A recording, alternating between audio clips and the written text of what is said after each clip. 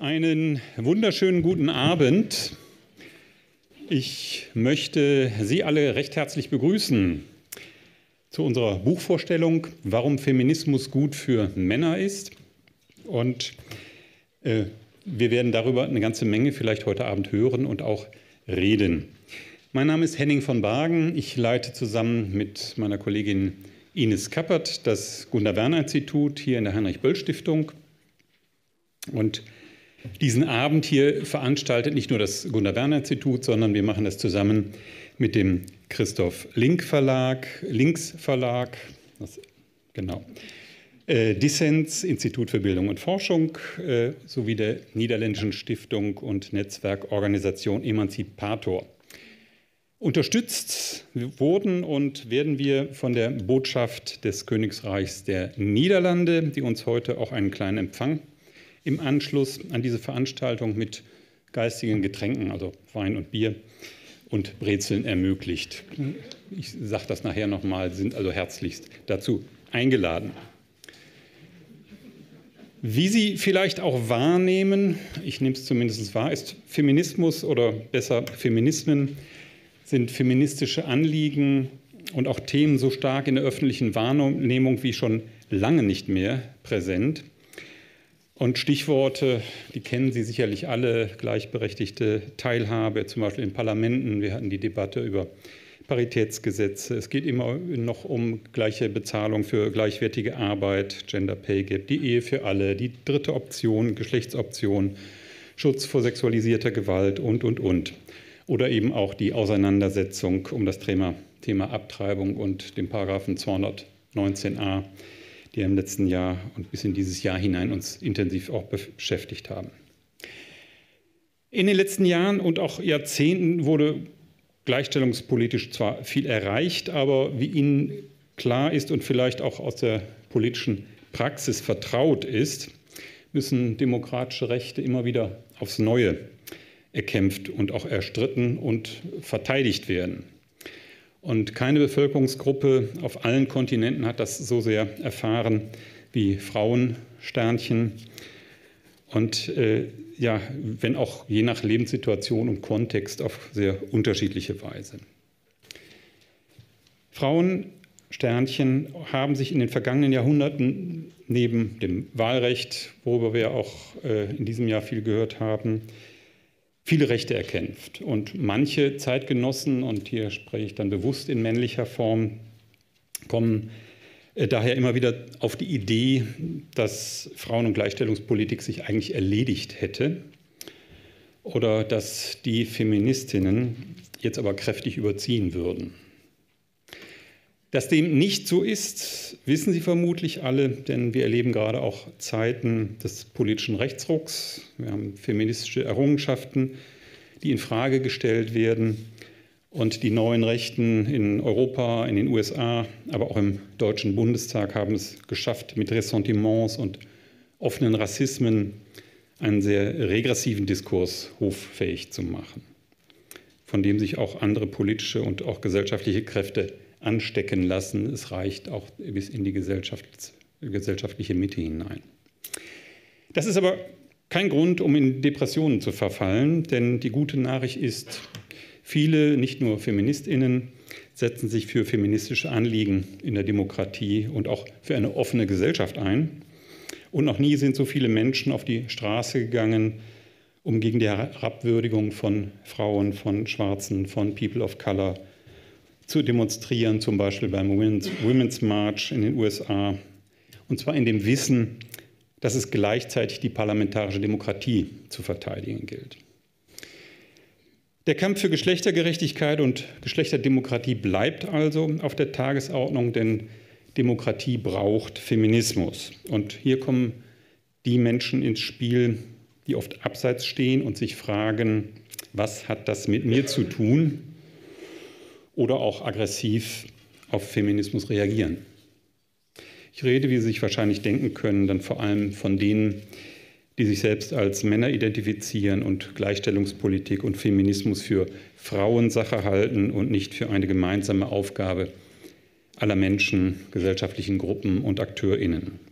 Und daher ist es richtig und wichtig, immer wieder zu fragen, warum Feminismus gut für Männer ist, wie Jens van Tricht es in seinem Buch getan hat, und dann eben auch den Ursachen für die Ablehnung oder auch Unverständnis bei Männern auf den Grund zu gehen. Denn Feminismus ist auch Männersache, das hat selbst der Bundesvorsitzende der Grünen Partei Robert Habeck einmal formuliert.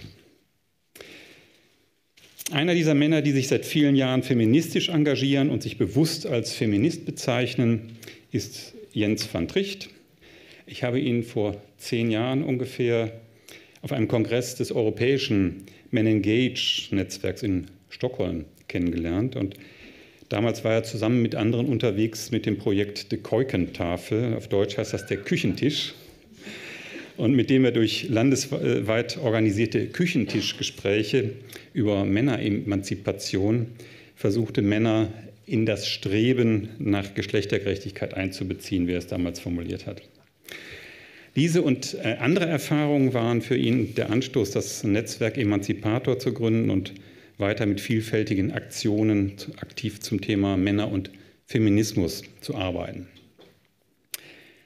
Seine langjährigen Erfahrungen hat Jens van Tricht im letzten Jahr in Buchform gebracht, allerdings auf Niederländisch. Und ich habe mich daher sehr gefreut, als ich erfahren habe, dass der Christoph Links Verlag das Buch in deutscher Sprache herausbringt. Und warum er das getan hat, dazu wird gleich der Programmleiter des Verlags Christoph Blome noch ein paar Worte sagen. Und daran anschließend wird Bernhard Könnecke erläutern, warum auch für Dissens das Thema seit vielen Jahren wichtig ist und auch wichtig bleiben wird und bleibt, genau. Dann freuen wir uns noch auf ein Grußwort von Botschaftsrat Benjamin Anker von der Botschaft des Königreichs der Niederlande, die diese Veranstaltung freundlicherweise unterstützt hat. Ich sagte es gerade schon, auch an dieser Stelle nochmal herzlichen Dank dafür. Die Journalistin Heide Österreich wird nach diesem kleinen Begrüßungs- und Grußwortreigen dann die Moderation übernehmen. Jens van Tricht wird sein Buch vorstellen und dann haben Sie Gelegenheit, ein interessantes Podiumsgespräch mit Jens van Tricht und unseren Podiumsgästen Yvonne Everharz und Ivan Sadi zu erleben, die ich an dieser Stelle auch nochmal herzlich begrüßen möchte. Bevor ich nun weitergebe, möchte ich mich noch einmal herzlich bedanken bei allen, die uns bei der Realisierung dieser Veranstaltung geholfen und unterstützt, tatkräftig unterstützt haben, insbesondere die Kolleginnen hier aus dem Tagungsbüro des Hauses, die Technik und aber auch bei meiner Kollegin Christiane Bornstedt. Und ein besonderer Dank gilt auch den GebärdensprachdolmetscherInnen, die uns dabei unterstützen, die Veranstaltung etwas barriereärmer zu machen. Noch ein Hinweis, Sie haben es gesehen, es werden Bild- und Tonaufnahmen gemacht, denn wir wollen die Veranstaltung auch zum Nachhören und Nachschauen online stellen. Und falls Sie nicht auf einem Bild erscheinen wollen, dann äh, sollten Sie sich einen Klebepunkt, einen roten Punkt irgendwo sichtbar hinkleben. Wir geben die gleich durch die Reihen und wenn Sie den irgendwo hier sichtbar dann äh, auf äh, Pulloverjacke haben, dann wird der Fotograf äh, sie aussparen oder wir sortieren die Bilder dann hinterher aus. So, ähm, dann als letztes noch, Sie haben auf Ihren Plätzen einen Evaluationsbogen gefunden. Wir sind immer daran interessiert, an Ihrer Meinung. Äh, wir möchten Veranstaltungen auch äh, gut machen, besser werden und äh, laden Sie herzlich dazu ein, uns dann auch eine Rückmeldung zu geben. Im Anschluss an die Veranstaltung können Sie dann da hinten in diesen Pappkarton Ihren Bogen einwerfen. Ja, dann wünsche ich Ihnen nun einen interessanten Abend und übergebe an Christoph Blume.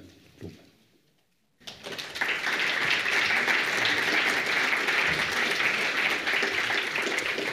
Ja, guten Abend auch von mir. Ich begrüße Sie im Namen des Christoph Links Verlages. Freue mich, dass Sie gekommen sind.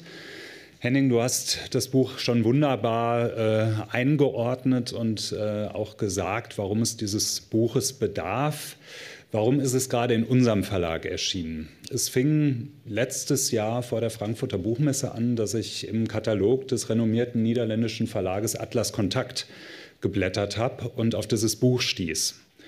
Und äh, das Thema erschloss sich mir sofort, beziehungsweise ich fand, dass diese Titelformulierung äh, etwas zum Ausdruck gebracht hat, dessen Relevanz mir sofort eingeleuchtet hat. Das bestätigte sich dieses Jahr auf der Buchmesse insofern, als immer wieder Menschen an unserem Verlagsstand stehen geblieben sind und sich vor der Werbung für dieses Buch haben fotografieren lassen. Es waren meistens Frauen, ich weiß nicht, warum das so ist, ob die irgendwie ihren, ihren Freunden oder Arbeitskollegen oder so das Ganze triumphierend unter die Nase halten wollten, aber so war es. Ähm, wir haben das Buch dann äh, begutachten lassen und äh, das Gutachten hat bestätigt, dass dieses Buch nicht nur eine relevante Frage formuliert, sondern auch spannende Antworten darauf liefert. Und zwar Antworten, die sich nicht nur an ein Publikum richten, das ohnehin sich in Genderdiskursen bestens auskennt, sondern an ein Publikum, das damit vielleicht noch nicht so vertraut ist. Also was Jens van Tricht nicht macht, ist Preach to the Converted. Wir haben uns dann äh, zum Glück mit dem niederländischen Verlag einigen können, sodass das Buch in Deutschland rauskommen konnte. Manche Menschen haben ein bisschen überrascht darauf reagiert, dass so ein Buch in unserem Verlagsprogramm erscheint, weil die meisten unserer Bücher eher investigativ analytisch ausgerichtet sind, politische und zeithistorische Themen behandeln. Ähm, ich habe extra deswegen mal ein bisschen im Verlagsarchiv geguckt und festgestellt, dass in den 90ern tatsächlich mal ein Buch herausgekommen ist, ein bisschen Männerhass steht jeder Frau. Erfahrungen mit Feminismus. Ähm, es ging uns aber nicht darum, an diese Tradition anzuknüpfen, sondern eher darum, dass wir Bücher veröffentlichen, die sich kritisch mit unserer Gesellschaft auseinandersetzen, mit Gerechtigkeitsthemen, das zum einen. Und zum anderen, Henning, du hast es schon angesprochen, der Antifeminismus ist ein fester Bestandteil der rechtspopulistischen und rechtsradikalen Welle, die uns seit einigen Jahren in Atem hält. Und insofern glaube ich, dass dieses Buch eben aus einer doppelten kritisch-aufklärerischen Perspektive sehr gut in unser Programm passt. Was den Rechtspopulismus und Antifeminismus angeht, werden wir das Ganze im neuen Programm auch fortführen. Wir haben darin ein Buch über Neonazi-Ego-Shooter. Und wenn man über dieses Thema schreibt, kommt man natürlich um eine Auseinandersetzung mit Männlichkeitskonzepten nicht umhin. Ich möchte mich auch noch bedanken bei unseren Kooperationspartnern, beim Gunnar Werner Institut, der Heinrich Böll Stiftung, Dissens und Jens van Trichts Organisation Emanzipator.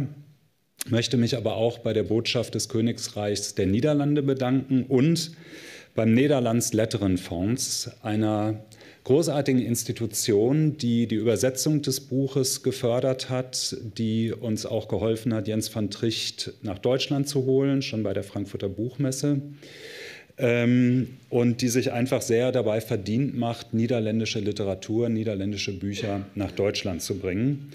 Und zu guter Letzt möchte ich mich auch noch bei den beiden Übersetzerinnen bedanken, Christina Brunnenkamp und Isabel Hessel, die das Buch ins Deutsche übertragen haben. Ich wünsche Ihnen und uns einen spannenden und interessanten Abend.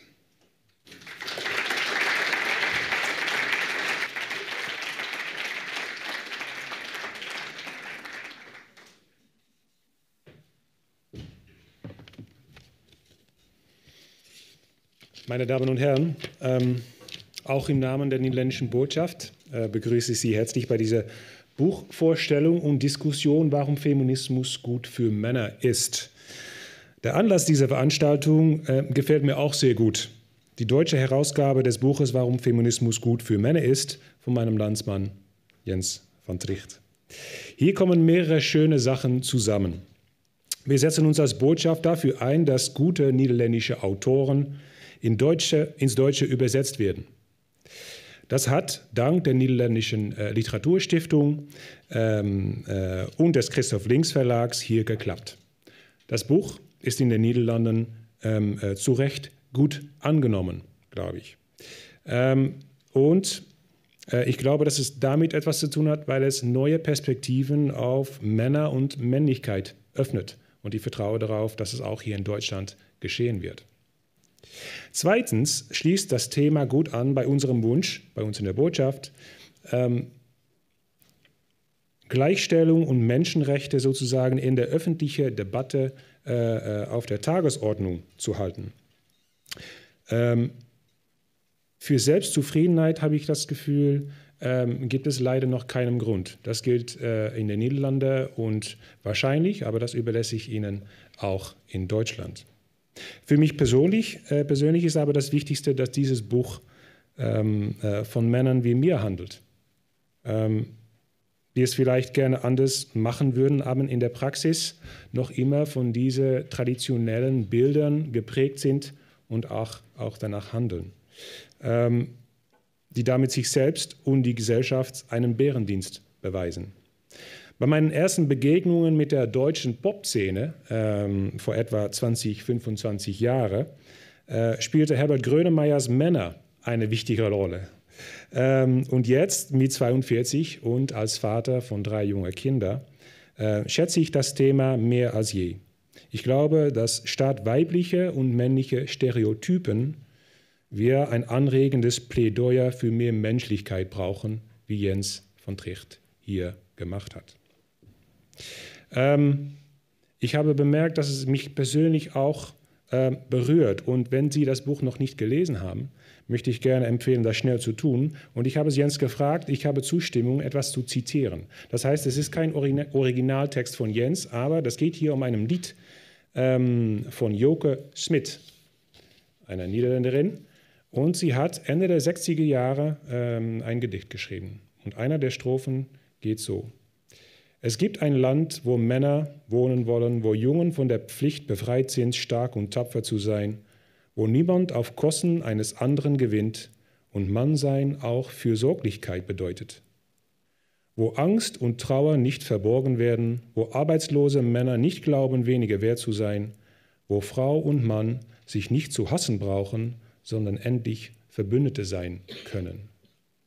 Ich habe bemerkt, dass es mich berührt hat und ähm, äh, ich schätze, äh, was Jens hier gemacht hat in diesem Buch, diese Gedanken sozusagen auszuarbeiten, äh, äh, sehr. Und ähm, ich übergebe gerne an das Podium, gespannt auf die Diskussion natürlich, äh, ähm, äh, wie es weitergeht. Damit die guten Gespräche im Anschluss nicht abreißen, es ist schon gesagt worden, darf ich Sie bereits jetzt einladen, bei einem Glas Wein sich weiter auszutauschen nach dieser Diskussion. Vielen Dank und viel Spaß heute Abend.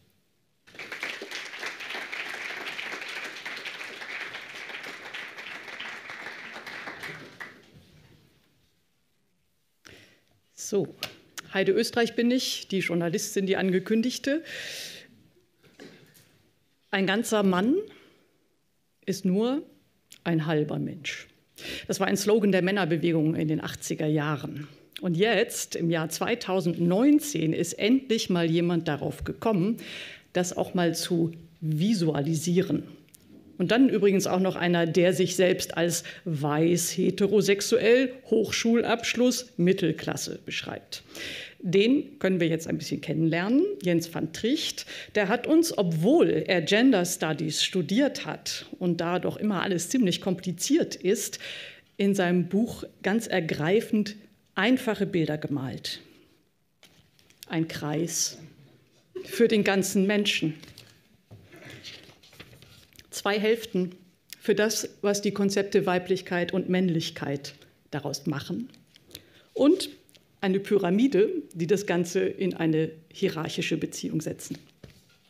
Danke, Jens van Tricht, dass Sie das so plastisch und so einfach gemacht haben, denn wir wissen ja im Zeitalter von Instagram, man kann es nicht bildlich und einfach genug machen. Jens van Tricht stellt uns jetzt sein Buch Warum Feminismus gut für Männer ist vor. Hinterher reden wir darüber, warum Jens van Tricht so schlau war, so frühzeitig Feminist zu werden und seither auch noch seine Energie dafür einsetzt, dass andere Männer es auch werden. Er wird auch zu seinen Organisationen etwas sagen, mit denen er arbeitet und äh, vielleicht gründen wir ja heute auch noch einen deutschen Ableger davon. Herzlich willkommen.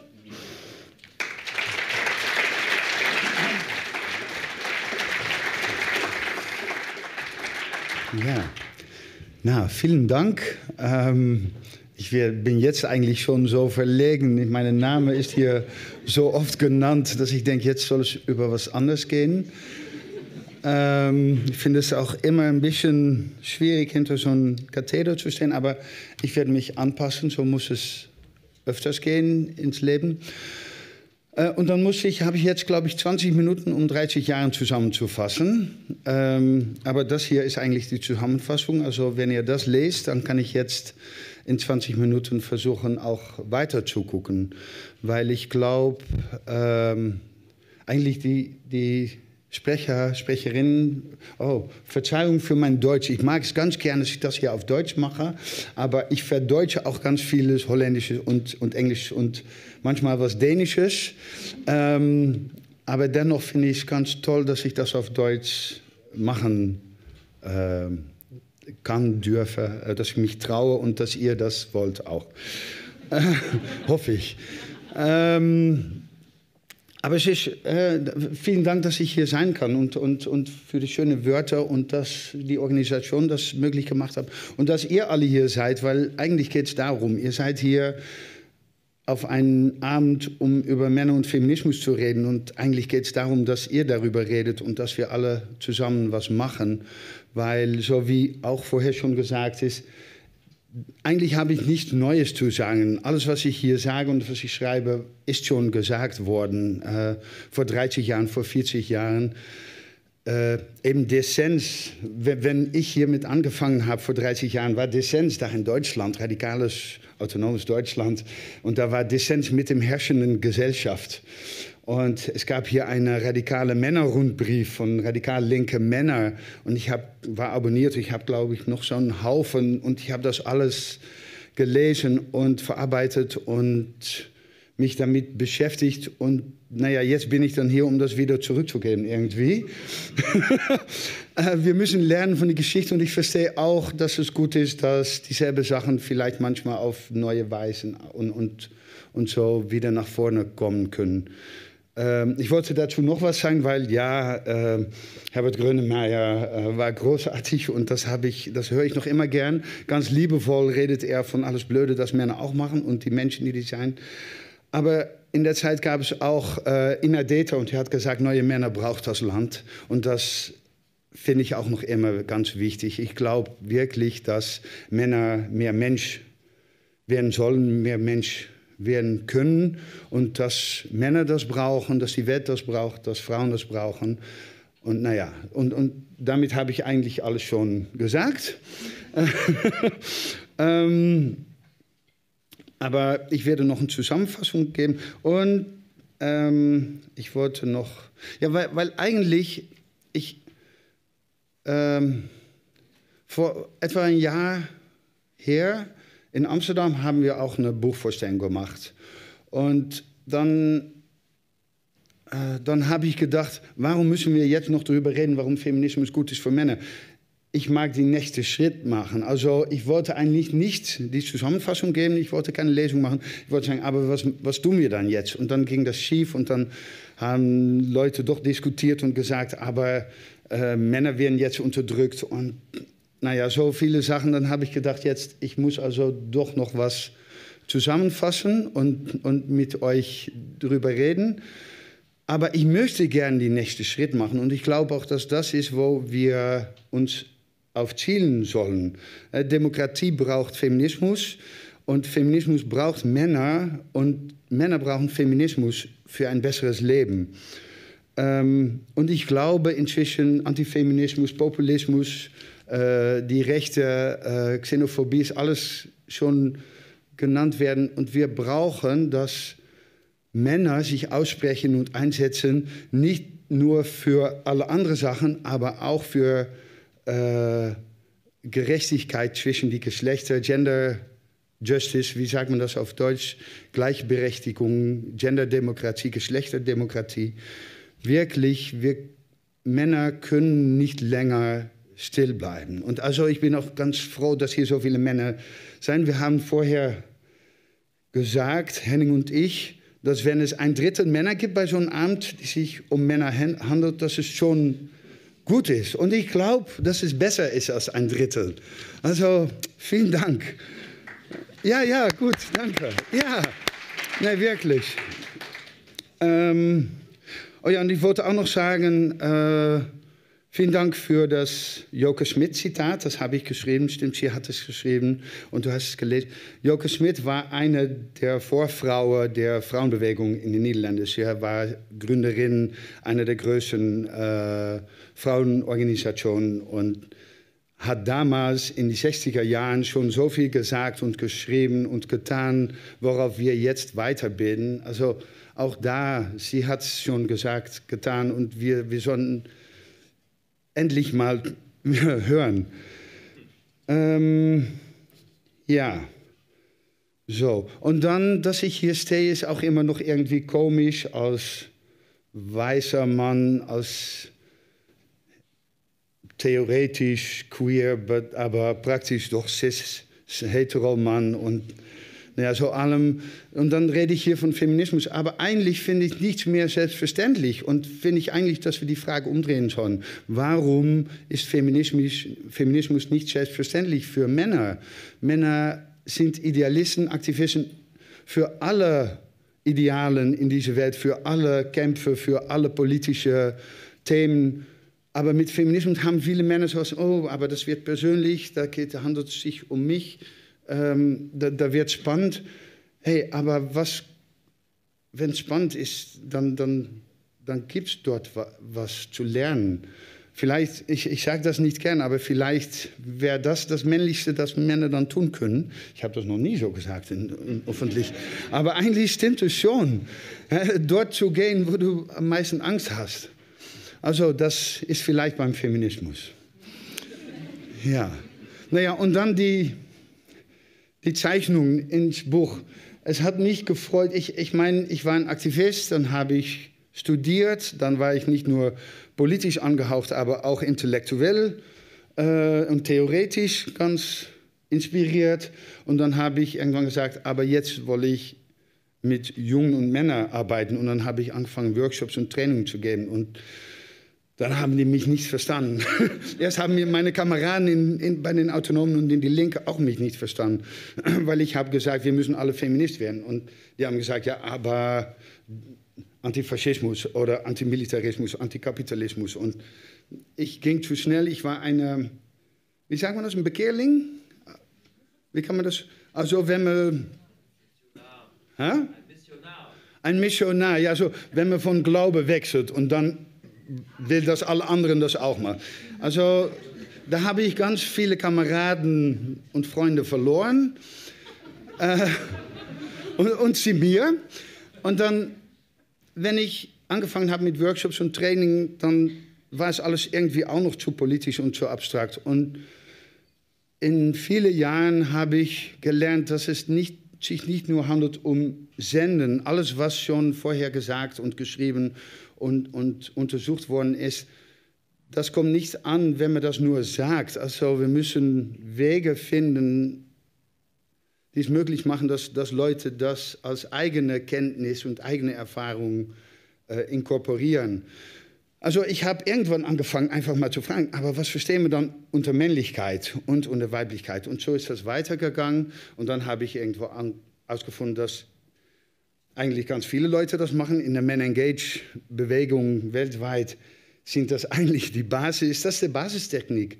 Man fragt, was heißt dann eigentlich Männlichkeit? Und was hat das zu tun mit das Problem, das wir hier lösen wollen oder das wir uns hier mit einer auseinandersetzen.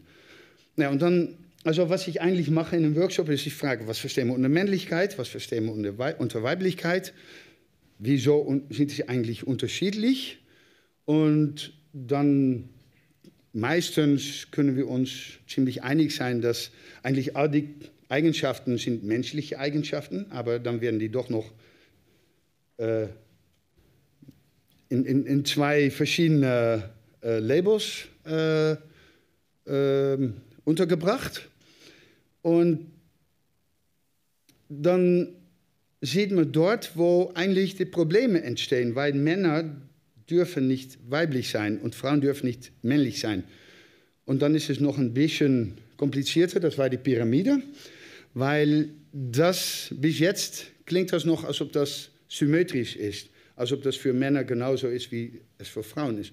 Aber natürlich leben wir noch immer in einer patriarchalen äh, Gesellschaft, wo alles, was wir mit Männer und Männlichkeit assoziieren, äh, höher gewertet, wert bewertet als was wir mit Frauen und Weiblichkeit assoziieren. Also für Frauen war es logisch, dass sie sich emanzipieren müssten und wollten und sollten und dass sie was zu gewinnen hätten mit den sogenannten männlichen Eigenschaften.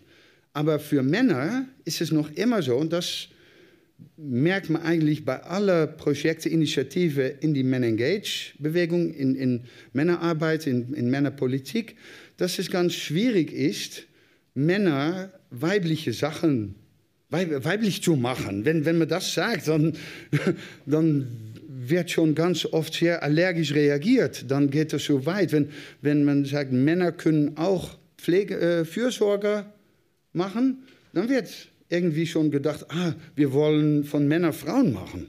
Aber Männer können genauso gut Fürsorge machen wie Frauen. Und Frauen können genauso gut äh, tatkraft, tatkräftig sein wie, wie, wie, Männer. Also es ist eigentlich Blödsinn, dass wir das so, das Unterschied so machen. Und das hat große Folgen, weil eigentlich kann man sagen, fast alle Probleme in der Welt haben damit zu tun. Ich sage nicht mehr, ich bin deradikalisiert, sage nicht mehr, alles wird davon verursacht, aber es hat schon alles damit zu tun.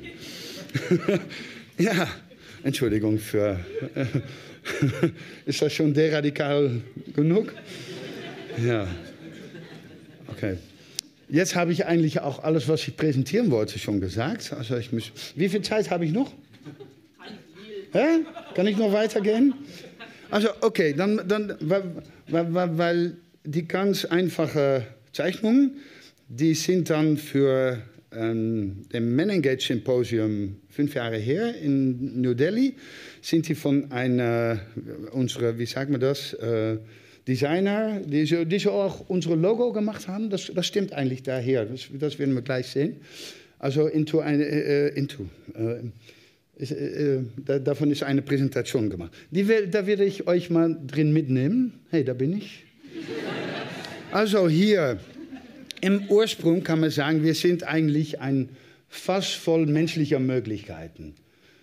Also die werden dann hier gezeigt mit dieser uh, purple.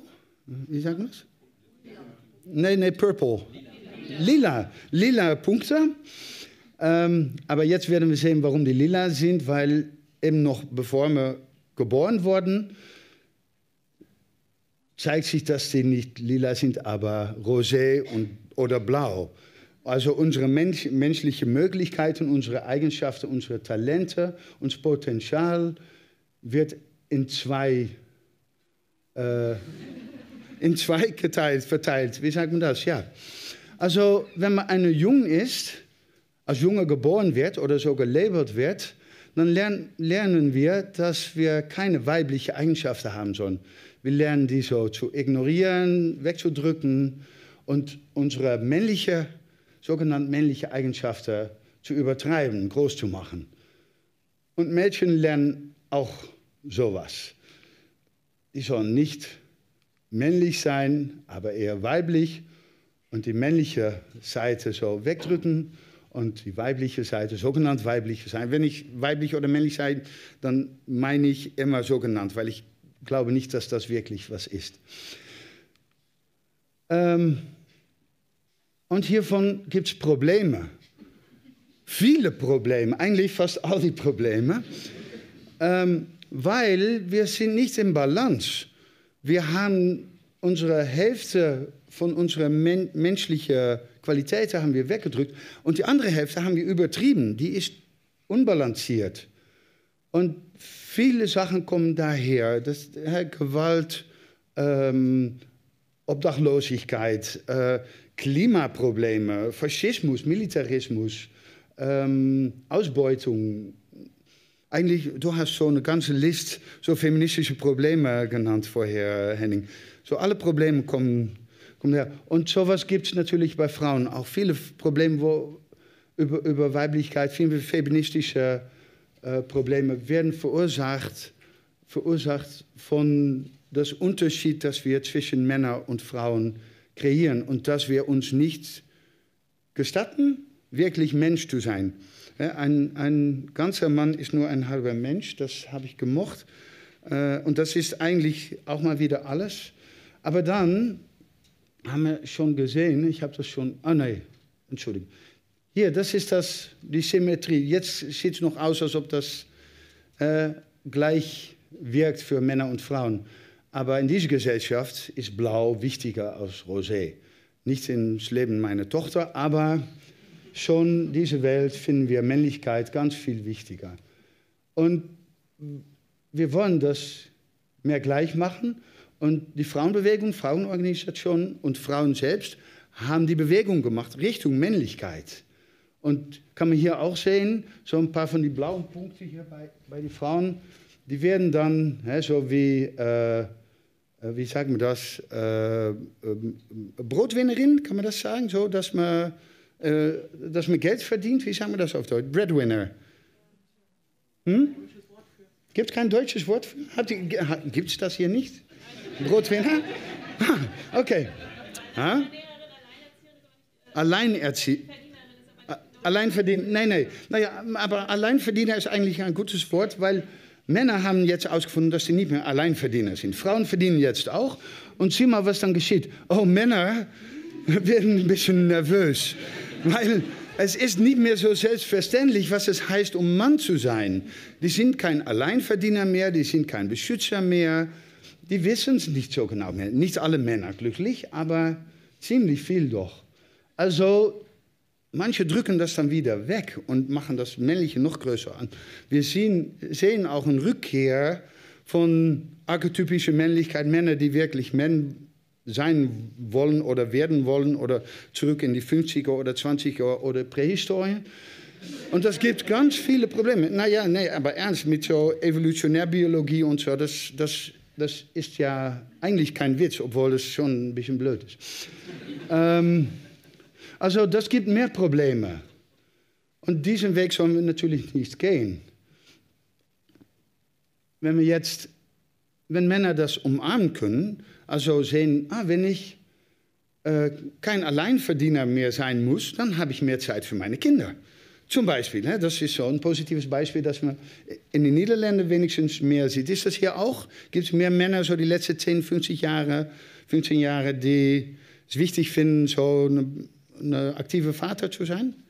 Ja, also da, da können Männer das umarmen und dann Teil der Lösung werden. Dann kann man sehen, dass Männer auch so Richtung Frauen und Weiblichkeit bewegen. Weil eigentlich geht das hier darum, dass wir zwei Bewegungen machen müssen. Wir müssen erkennen, dass Männer und Frauen beide alle menschlichen Qualitäten in sich haben und wir müssen die beide die Qualitäten auch gleich bewerten.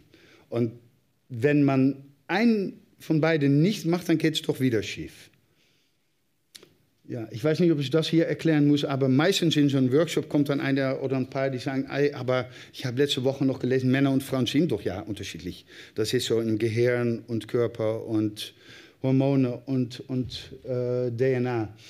Und dann, ich weiß, gibt es hier bestimmt auch so Publikationen, die sagen, Männer können besser äh, Auto parken oder bestimmte äh, mathematische Probleme lösen und Frauen sind empathischer oder, oder better, besser in, in Fürsorge.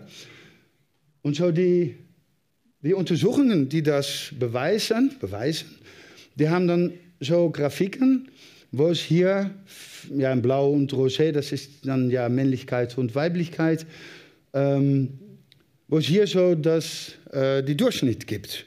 Und dann sagen die, guck mal, es gibt im Durchschnitt einen Unterschied. Also Männer sind mehr blau, sind blau und Frauen sind rosé. Also Männer können besser parken und Frauen sind empathischer. Und dann vergessen die eigentlich der Overlap. Wie sagt man das auf Deutsch? Die Verschneidung, die Überschneidung. Überschneidung, ja.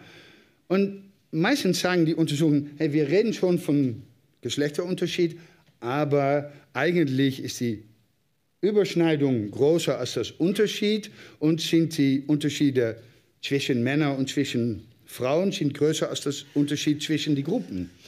Aber dennoch wird immer geredet von Frauen dies und Männer das.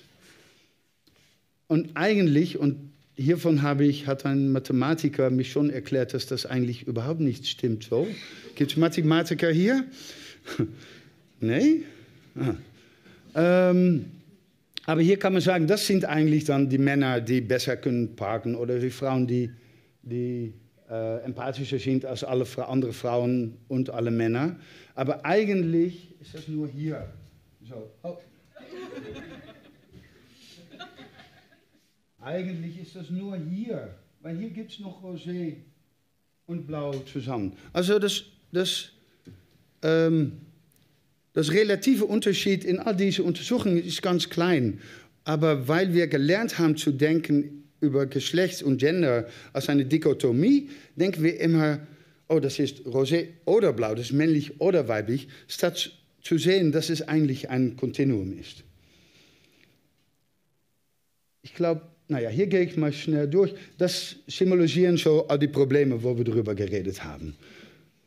Und dann kann man hier sehen, dass so Frauen sich emanzipiert haben und männliche Sachen inkorporiert haben und entwickelt und auch so Verdiener geworden sind. Und dann sehen wir hier, dass Männer noch größere Probleme machen, so mit Antifeminismus und starke Männer. Und dann sehen wir, dass die Probleme größer werden.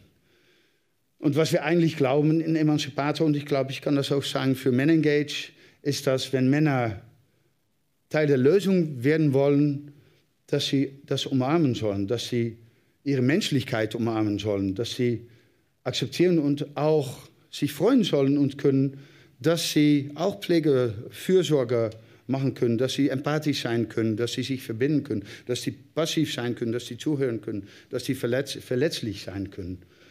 Und wenn wir das machen, dann können wir hoffen, na hier, das ist schon weiter eigentlich als unsere Logo, sehe ich jetzt. Also wir sind noch nicht da, aber dann schließlich kommen wir wieder hier raus und können wir endlich mal unser, oh, warum gehen wir jetzt rund? Na, die Technik geht nicht ganz so, wie ich es wollte, weil ich wollte, dass die lila Punkte hier nicht waren.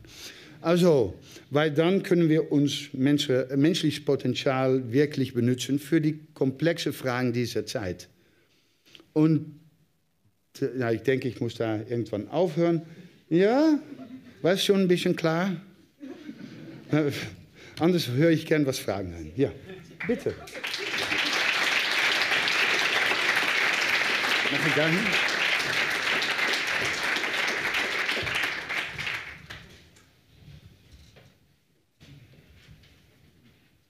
Ich glaube, es ist alles, jetzt ist alles sonnenklar. Hat, genau, das hat noch nie jemand so super genau erklärt. Wo sind denn unsere Diskussionspartnerinnen? Wollt ihr auch kommen? Gut.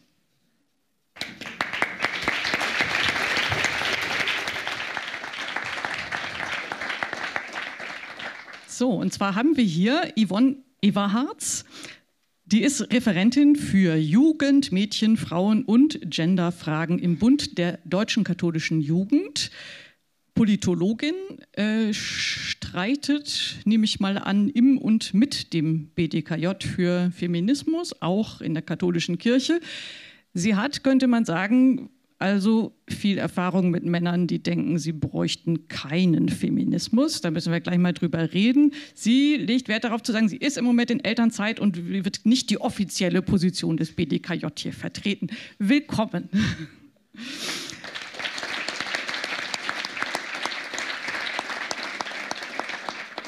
Und Even Sadi ist hier, ist auch Politologe, Kommunikations- und Verhaltenstrainer und bearbeitet den Schwerpunkt, jetzt kommt was ganz Langes, pädagogisches Handeln im Kontext geschlechtlicher und sexueller Vielfalt beim Institut Dissens. Das ist das Institut, haben wir jetzt schon gehört. Äh, da kann ich aber auch noch aus dem Nähkästchen erzählen als Journalistin, das bei den Rechtskonservativen und bei der AfD unter akutem Umerziehungsverdacht steht, weil es sich nämlich schwerpunktmäßig mit geschlechterreflektierender Pädagogik beschäftigt. Und äh, dem jetzigen Familienministerium haben wir jetzt in letzter Zeit gehört, ist auch nicht so ganz klar, warum man das eigentlich braucht. Also die Forderung steht mal wieder in Frage und dazu kommen wir vielleicht nachher auch noch mal. Willkommen. So. So, jetzt müssen wir natürlich erst noch mal äh, Jens van Tricht ins Gebet nehmen. Wenn man jetzt außerhalb von unserer Blase, und ich glaube, das sind wir hier alle im, in der Heinrich-Böll-Stiftung, äh, auf Feminismus zu sprechen kommt, dann äh, hat der eigentlich immer noch ein ziemlich problematisches Image. Und zwar äh, nicht nur bei Männern, sondern auch bei Frauen. Ähm, deshalb muss ich jetzt erstmal fragen, äh, warum das bei Ihnen jetzt nicht so war. Also warum Sie nicht gedacht haben, mit Feminismus, was soll ich denn damit zu tun haben? Also warum sind Sie Feminist geworden? Mit Mikrofon am besten, genau.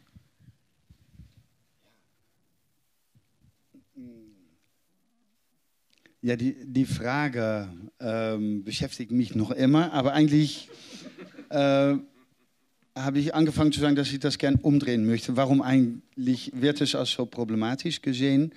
Was bei mir geschah, war, ich war äh, ich, ich, auf Deutsch finde ich schön zu sagen, ich war bei einem Autonomen, ich denke, das stimmt so irgendwie in Amsterdam, in der Hausbesetzerbewegung. Und wir haben gekämpft gegen all Unrecht in die Welt und wir haben leere Häuser geöffnet, um da alternative Gemeinschaften, Gesellschaften zu kreieren. Und dann ähm, ich bin ich in ein Haus gekommen, haben wir ein, ein, neues Haus geöffnet mit vier Frauen und einem anderen Mann. Und wir haben vom Anfang über Feminismus geredet, über unsere Sozi Sozialisation, über äh, Sexismus, über alltägliches Sexismus. Ich habe so ein dickes Buch auf Deutsch gelesen müssen, gelesen. naja, nicht müssen, nee, eigentlich nichts. Ich, ich war... Ähm, äh, äh, äh, wie sagt man das auf Deutsch, eager. Ich wollte gern lernen. Ich glaube eigentlich, das ist es. Ich war auf der Suche nach ähm, praktischen Formen, äh, äh, Wege für meinen Idealismus. Und das Feminismus hat mich gezeigt, dass die Probleme, gegen denen wir kämpften, alles zu tun hatten mit Geschlechterverhältnissen und dass die von, meistens von Männern verursacht wurden und dass Männer meistens davon profitieren. Damals klang das alles viel einfacher, als es jetzt ist. Ich weiß jetzt, wie komplex und alles das ist, aber doch, ich glaube noch immer, das ist Wahrheit. Und in die Suche äh, nach alternativen Lebensformen, zusammen, Zusammenlebensformen oder Arbeit, wie, wie sagt man das, Wege, um, um, um was anders zu machen, unsere utopische Praxis äh, äh, zu formen, äh, habe hab ich gesehen, dass wir bei uns, selbst, uns, uns selbst anfangen mussten. Und dass es un, ich meine, ich habe immer gesagt, ich bin ein Anarchist. Wie kann ich dann ein Anarchist sein, wenn ich nicht fundamentelle, radikale Fragen stelle über wie ich, wer ich bin und wie ich geworden bin, was oder wer ich bin?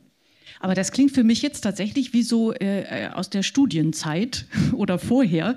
Ähm, äh, die Menschen, mit denen ich äh, studiert habe, die hatten bestimmt auch alle so eine Phase, also gerade die Männer, die sind aber dann da rausgewachsen. Und ähm, jetzt zeigen Sie ja in ja, Ihrem Buch äh, ne, äh, ganz, ganz, ja. ganz wunderbar, äh, wie gefährlich es ja für Männer ist, sich mit sich selbst zu beschäftigen und sich selbst zu reflektieren, äh, weil das ja an sich schon unmännlich ist. Also Sie haben so schön äh, auch ein ganz tolles Bild in dem Buch, die Manbox. Ne? Der, das Kästchen, in dem die Männer drin sind und wer da rausgeht, der ist eigentlich schon sozial tot. Also der, man muss diese ganzen Eigenschaften erfüllen, die in der Manbox stehen. Und wer rausgeht, äh, äh, lebt sehr gefährlich. Wie oft äh, sind Sie denn schon gestorben, sozial? Ja. Ähm. ja. Ich weiß, äh, so in diesem Sinne weiß ich nicht, ob ich lebend bin, aber ich fühle mich mehr lebend als vorher. Äh, ähm Wie viel Leben hat ein Feminist? Viele ja. offensichtlich. Nee, aber äh, was ich sagen kann, ich meine, in, in unserer Arbeit und auch mit Kollegen und Kollegen, äh, Menschen, die sich mit diesen Themen beschäftigen, die müssen sich immer verantworten in jeder soziale äh, Gelegenheit werden die angegriffen, müssen sich, sich verteidigen. Ähm, es bleibt nicht viel Soziales übrig. Also ich bin nicht gestorben, aber mein, äh, auf Holländisch, Englisch sagen wir Filterbubble, hat sich schon ausgefiltert. ähm, ich, ja, ja aber... Mh. Ja, was soll ich dann sagen? Ich glaube eigentlich nicht. Ich, nee, hm, ich will noch was sagen, glaube ich. Weil eigentlich bin ich, glaube ich, einmal wirklich gestorben und das war, als ich hier mit angefangen habe, weil ich mich selbst ziemlich ähm, dekonstruiert habe, mhm. so in, in, in akademischer Terminologie dann. Also ich habe mich wirklich fundamental alles befragt, was ich bin geworden war, was normal selbstverständlich war. Und, und ich bin eigentlich auch nicht sicher, dass Männer ernsthaft mit diesen Themen sich beschäftigen können, wenn sie nicht so tief gehen, wenn sie nicht, äh, Entschuldigung, ja, aber mhm. so ist es doch. Ich glaube, um es wirklich zu machen, muss man auch wirklich die Arbeit machen. Und die Arbeit ist nicht einfach, aber sie ist es ganz wert. Weil Mensch werden ist nicht einfach, Menschsein ist nicht einfach. Mannsein scheint einfach, aber es ist eigentlich ein kontinuer äh, Kampf um zum Überleben. Ja. ja. jetzt geht es aber ja wahrscheinlich sehr vielen Männern tatsächlich auch so wie, wie Ihnen von der äh, Botschaft, dass sie denken, ja, ich, das, ich finde das alles richtig, ich glaube auch, dass wir sozusagen, dass die Welt ein sehr viel besserer Ort wäre. Aber ich befinde mich in einem hierarchischen System, dass die Pyramide stimmt. Oben ist das männliche Prinzip sozusagen. Ich, ich kann es leider nicht machen, sagen die dann. Es geht leider nicht. Aber das andere geht auch nicht. Das andere geht auch nicht. Ich, nee, ich glaube, ich möchte noch was sagen. Dann das, äh, und das finde ich spannend, weil für mich das Buchschreiben war irgendwie so wie eine, wie sagt man das, eine, ein, ein, ein Skriptie, ein Thesis schreiben für ein Studium. So, das ist fertig und dann geht es weiter. Und ich, ich sage ins Buch, dass, warum ist Feminismus gut für Männer? Weil es hilft Männer in Verbindung, in Beziehungen mit sich selbst, mit anderen Männern, mit Frauen, mit Lebenspartnern, mit Kindern und die Welt. Aber eigentlich glaube ich, es gibt noch was, ähm, das ist nichts in das Buch, also das könnt ihr nicht lesen hier jetzt. Aber ich glaube, es geht um Heilung irgendwie. Und es geht um tiefe Heilung von Unrecht in die Welt, zwischen Menschen, zwischen Männern und anderen Menschen, zwischen Männern und die Welt, aber auch in uns selbst. Und ähm, das Buch fängt an mit einem Zitat von ähm, äh, wie kann ich dann jetzt ihren Namen vergessen? Ähm, Bell Hooks natürlich, wo sie sagt eigentlich, dass das erste Gewalt, das Männer pflegen, ist nicht gegen Frauen, aber gegen sich selbst oder gegen andere Männer. Und ich werde hier nicht sagen, dass wir erstmal uns Sorgen machen müssen um Männer, weil die es so schwer haben, weil ich finde es wichtig, erstmal Männer an ihre Verantwortlichkeit im patriarchalen System anzusprechen. Aber wir müssen auch ernst nehmen, Männer müssen erstmal ernst nehmen, dass sie verletzt und beschädigt werden vom Patriarchat, von Männlichkeit, weil es sie unmenschlicht. Ja. Und mhm. dort ist, wo mein Leben wieder reinkommt. Ja. Ähm, wir gehen mal weiter auf dem Podium zu Yvonne Everhards. Ähm, Sie kommen aus einer äh, Kirche, die äh, ja gar nicht so äh, diese Argumentation nachvollziehen würde, das könnte gut für Männer sein. Guckt euch das doch mal an, weil die Kirche natürlich argumentiert, ja, tut schrecklich leid, Jesus hat das so gemacht, kommt von oben, kommt von Gott, Ende der Diskussion. Äh, das heißt, wie weit kommt man mit so einer Argumentation, wie Jens van Tricht die macht? Es ist wichtig für unser Menschsein, äh, dass Männer sich verändern äh, und dass man auch Platz schafft für Frauen, zum Beispiel in der katholischen Kirche. Ähm, wie weit kommt man mit so einer Argumentation, wenn da von oben so quasi so ein normativer Deckel drauf gesetzt wird? Ähm, das kommt ganz stark darauf an, wen Sie fragen. Also bei mir kommen sie da sehr weit als Katholikin. Ähm, genau, aber der Punkt ist einfach, dass ich ja in einem Bereich Lohn arbeite. Äh, katholische Jugendverbandsarbeit ist halt nochmal was anderes äh, als äh, katholische Kirche. Und ähm, klar äh, machen wir auch unsere Punkte an der katholischen Kirche, wie Sie sie jetzt quasi beschreiben. Und klar stoßen wir da manchmal gegen Wände, aber ähm, in unseren katholischen Jugendverbänden leben wir halt Partnerschaftlichkeit ähm, und Geschlechtergerechtigkeit ähm, in der Form, wie sie beschrieben wird äh, oder wie sie erwünscht wird im Buch oder also wie du sie da ähm, quasi äh, dir wünschst für unsere Gesellschaft. Genau, und deswegen ist es ganz stark die Frage, äh, wen man da fragt. Und ich will das jetzt gar nicht so abtun, nur ähm, ich kann nicht für Bischöfe sprechen. Ich kann Bischöfen dreimal sagen, dass das vielleicht äh, schöner wäre, Macht zu teilen und auch für sie angenehmer, heilsamer, gesünder wäre. Aber da verkämpfe ich mich auch nicht, weil ich mache Jugendarbeit und Bildungsarbeit für Kinder und Jugendliche. Und ähm, das ist mir wichtiger, denen da Räume zu eröffnen, als irgendwelchen alten Herren zu erklären, ähm, wie ihr Leben schöner sein könnte. Mhm. Äh, da, trotzdem hört sich das natürlich so ein bisschen äh, da, äh, also spagatartig an, äh, weil die da von oben ja da sozusagen das sind ja die Führungs, also Pyramide, sage ich nur, ne? die Führungspersönlichkeiten. Ähm, äh, warum, darf ich mal ganz doof fragen, warum werden nicht alle, die denken, dass da oben, das stimmt alles überhaupt nicht mehr, warum werden die nicht alle evangelisch?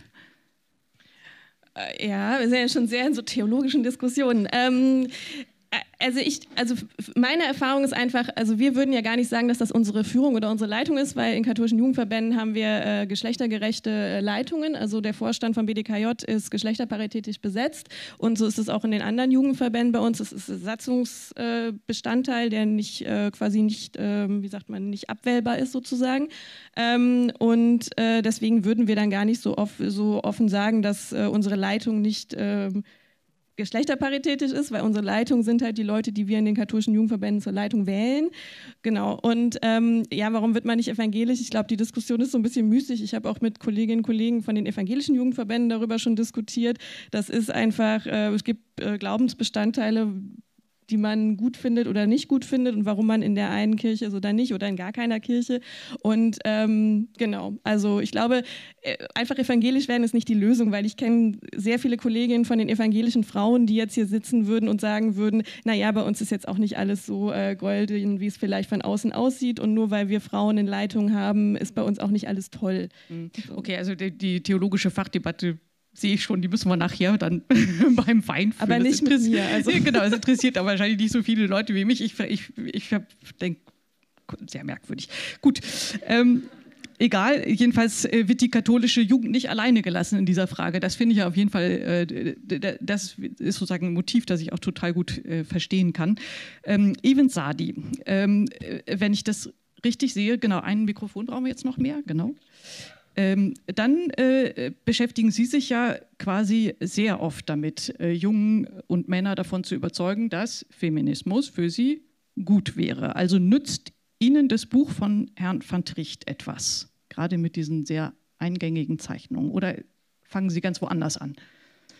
Ähm, ich weiß nicht, ob es mir was nützt oder uns was nützt in unserer Arbeit. Ähm, also wir fangen an ähnlichen Punkten an, beziehungsweise wir versuchen definitiv auch äh, neben der Frage von äh, Männlichkeit als Privileg, äh, Männlichkeit als gewaltvoll eben auch zu platzieren, dass ähm, äh, ja, Männlichkeitsanforderungen und die Übernahme von Männlichkeitsanforderungen ähm, Verluste, Beschädigungen, sagtest du gerade Jens, ähm, äh, verursachen auch bei Männern. Und ähm, äh, in unserer pädagogischen Arbeit ist es sehr regelmäßig so, dass wenn wir in längeren Reihen ähm, anfangen, dass wir zum Beispiel die Frage stellen, wer würde sich hier als Feministin verstehen und wir nicht ganz äh, überraschenderweise tatsächlich sehr wenig Männer haben, also Männersternchen tatsächlich auch, ähm, die sich als feministisch verstünden. Ähm, im Verlaufe dann der Reihen ist es dann aber so, dass wir relativ viel biografisch arbeiten und wirklich versuchen aufzudecken, also was, also auch mit Fachkräften aufzudecken, was äh, sind denn solche Beschädigungen, Verlustspuren, was sind denn Dinge, die wir äh, sozusagen ähm, an den Rand gedrängt haben, an den Rand äh, dieser Kreise. Ähm, äh, aber tatsächlich, also was, was sind wirklich die, ähm, die Beschädigungen, die damit einhergehen? Und das sind tatsächlich interessante Prozesse, die wir begleiten und ähm, dann ist es am Ende so, dass viel mehr sich zumindest als profeministisch verstünden. Ähm, genau. Ähm, wichtig ist aber tatsächlich, und ähm, also das ist jetzt so äh, nicht auf deine Frage bezogen, ähm, ich finde es wichtig, zu sagen, dass Feminismus gut für Männer ist, ja, eindeutig, ähm, aber trotzdem nicht zu vergessen, das machst du glücklicherweise auch nicht in deinem Buch, ähm, dass tatsächlich äh, ja die größten, die großen Leidtragenden ähm, äh, von patriarchalen Verhältnissen und von patriarchaler Gewalt eindeutig Frauensternchen sind. Ähm, genau, und das äh, kann ich allen sagen, die das Buch noch nicht gelesen haben. Ich hatte so ein bisschen Angst, weil ich kannte Jens auch nicht, ob das nicht dabei rumkommt. aber das tut es nicht. Ähm, genau. Mhm. Ähm, äh, können Sie noch mal so ein bisschen genauer sagen? Sie haben gerade gesagt, wenn wir weitergehen in den Reihen, was, was sind es, mit welchen Menschen arbeiten Sie wie? Wir arbeiten ähm, mit äh, Menschen, die eigentlich dafür da sind, Kinder und Jugendliche dabei zu begleiten, ähm, in Bildungsprozessen oder auch Unterstützungsprozessen gut in Gesellschaft zu kommen. Und ähm, wir also begleiten. Also train the trainer sozusagen. Na, pädagogische Fachkräfte, ja. äh, sozialpädagogische Fachkräfte, LehrerInnen, ähm, HochschullehrerInnen äh, etc. pp. Und unsere Intention ist es, sozusagen die Relevanz von Geschlechterverhältnissen in jedem pädagogischen Thema aufzumachen oder in, also in der pädagogischen Praxis allgemein aber auch in jedem pädagogischen Thema. Das heißt, wir bilden nicht aus und fort, um zu geschlechtsspezifisch nur zu arbeiten, also auch das machen wir, sondern wirklich also im pädagogischen Kontext zum Beispiel auch die Auswirkungen von Männlichkeits- und Weiblichkeitsforderungen, Anforderungen ähm, einzubedenken. Mhm. Und das machen wir in unterschiedlichen Formaten. Wir haben längere Reihen, wo wir das Glück haben, Menschen auch über anderthalb Jahre begleiten zu dürfen. Ähm, also jetzt bis zum Ende des Jahres. Äh, wir haben ja keine Förderung mehr durch das Familienministerium. Ähm, äh, als auch immer, also auch eher kurzen Formaten, zweitägigen Formaten, wo wir dann äh, alleine aufgrund der Zeit nur ankratzen können, was mhm. die Implikationen von Geschlechterverhältnissen und Patriarchat und Heterosexismus etc. pp in der Pädagogik sind. Und was ist denn äh, die häufigste Rückmeldung? Also wenn ich mir jetzt vorstelle, da sind äh, pädagogische Fachkräfte, die sagen, also wissen Sie was, meinen Kindern muss ich mit sowas gar nicht kommen, weil äh, also äh, sozusagen, was ist, wo, was für eine Rückmeldung kommt da oder was für Widerstände kommen da auch, äh, wo man sagen muss, ah ja, da haben wir wieder den Punkt. Das ist sehr divers. Also wir haben das klassisch äh, Rassifizierende von Geschlechterverhältnissen, dass gesagt wird, unsere braunen Kinder oder schwarzen Kinder, also insbesondere braun oder als muslimisch gelesenen Kinder, machen uns Probleme. Ähm, und es werden halt so äh, die Mainstream-Anteile ähm, kaum gesehen. Ähm, wir bekommen als Reaktion oder beziehungsweise das Problem haben wir überhaupt nicht. Wir sind total reflektiert. Ähm, also was sich in der Regel dann auch als nicht so ganz richtig erweist oder häufig nicht als ganz richtig erweist. Ähm, wir sind aber einfach auch dahin gegangen, jetzt ähm, mehr mit Menschen zu arbeiten, die sich mit diesen Themen befassen wollen und zu versuchen, die zu stärken, also die zu qualifizieren und zu stärken und nicht also wir machen relativ ungern so Zwangsveranstaltungen, wo Leute gezwungen werden daran, also auch Fachkräfte gezwungen werden daran teilzunehmen. Das machen wir auch. Aber es ist in der Regel. Ähm ist, es, ist es sinnlos? Nein, es ist überhaupt nicht sinnlos. Nein, nein, gar nicht. Aber es geht letztendlich auch darum, da nochmal zu schauen, was die eigenen Kräfte sind und mhm. welche Auseinandersetzungen. Ähm, also, weil auch Menschen, die sich irgendwie so abstrakt als ich will geschlechtergerecht handeln, verstehen, ähm, da gibt es häufig trotzdem viel zu tun und viel zu lernen und gemeinsam zu lernen. Ähm, genau. Also da müsste man eine Erschwernusszulage eigentlich berechnen. Nein, ich mein, ist anstrengender, kurz gesagt. Nein, es ist anstrengender. Ja. Es sind, also ich meine, da sind dann halt mehr äh, Seehofers, ähm, die da sitzen äh, mit allem drum und dran. Ähm, auch die erreichen wir, würde ich sagen. Ähm, ähm aber es ist einfach eine andere Form der Auseinandersetzung. Und äh, also nach über 20 Jahren in der diskriminierungskritischen äh, Bildungsarbeit ähm, muss ich oder haben wir entschieden, dass wir auch haushalten wollen mit unseren Energien. Das ist auf jeden Fall immer klug. Ähm, äh, Frau Ewerts, ich hab, wenn ich das richtig verstanden habe, arbeiten Sie direkt mit Jugendlichen, ne? Ja, also de facto arbeite ich mit äh, Multiplikatorinnen und Multiplikatoren. Auch, also ja. meistens, manchmal sind da auch Jugendliche dabei. Äh, ja. Also das kommt immer darauf an, was Sie jetzt, ob Sie SGB 8 Definition von jungen Menschen nehmen, also bis 27 oder ähm, genau. Mhm. Also sind junge Menschen dabei, aber die meisten sollen das halt okay. in ihre Verbände reintragen. Okay. Und äh, gibt es bei Ihnen auch so ein Standardding, wo Sie denken, ah, da jetzt kommt wieder der Punkt? Also das, wir haben schon gehört, äh, die, äh, die, so eine, äh, ich glaube, Rassifizierung haben Sie gesagt, ne? Ja. Äh, das kenne ich äh, aus dem feministischen Kontext auch ganz stark, dass, es, ne, dass, man, dass man das auf die anderen sozusagen dann projiziert, das Problem.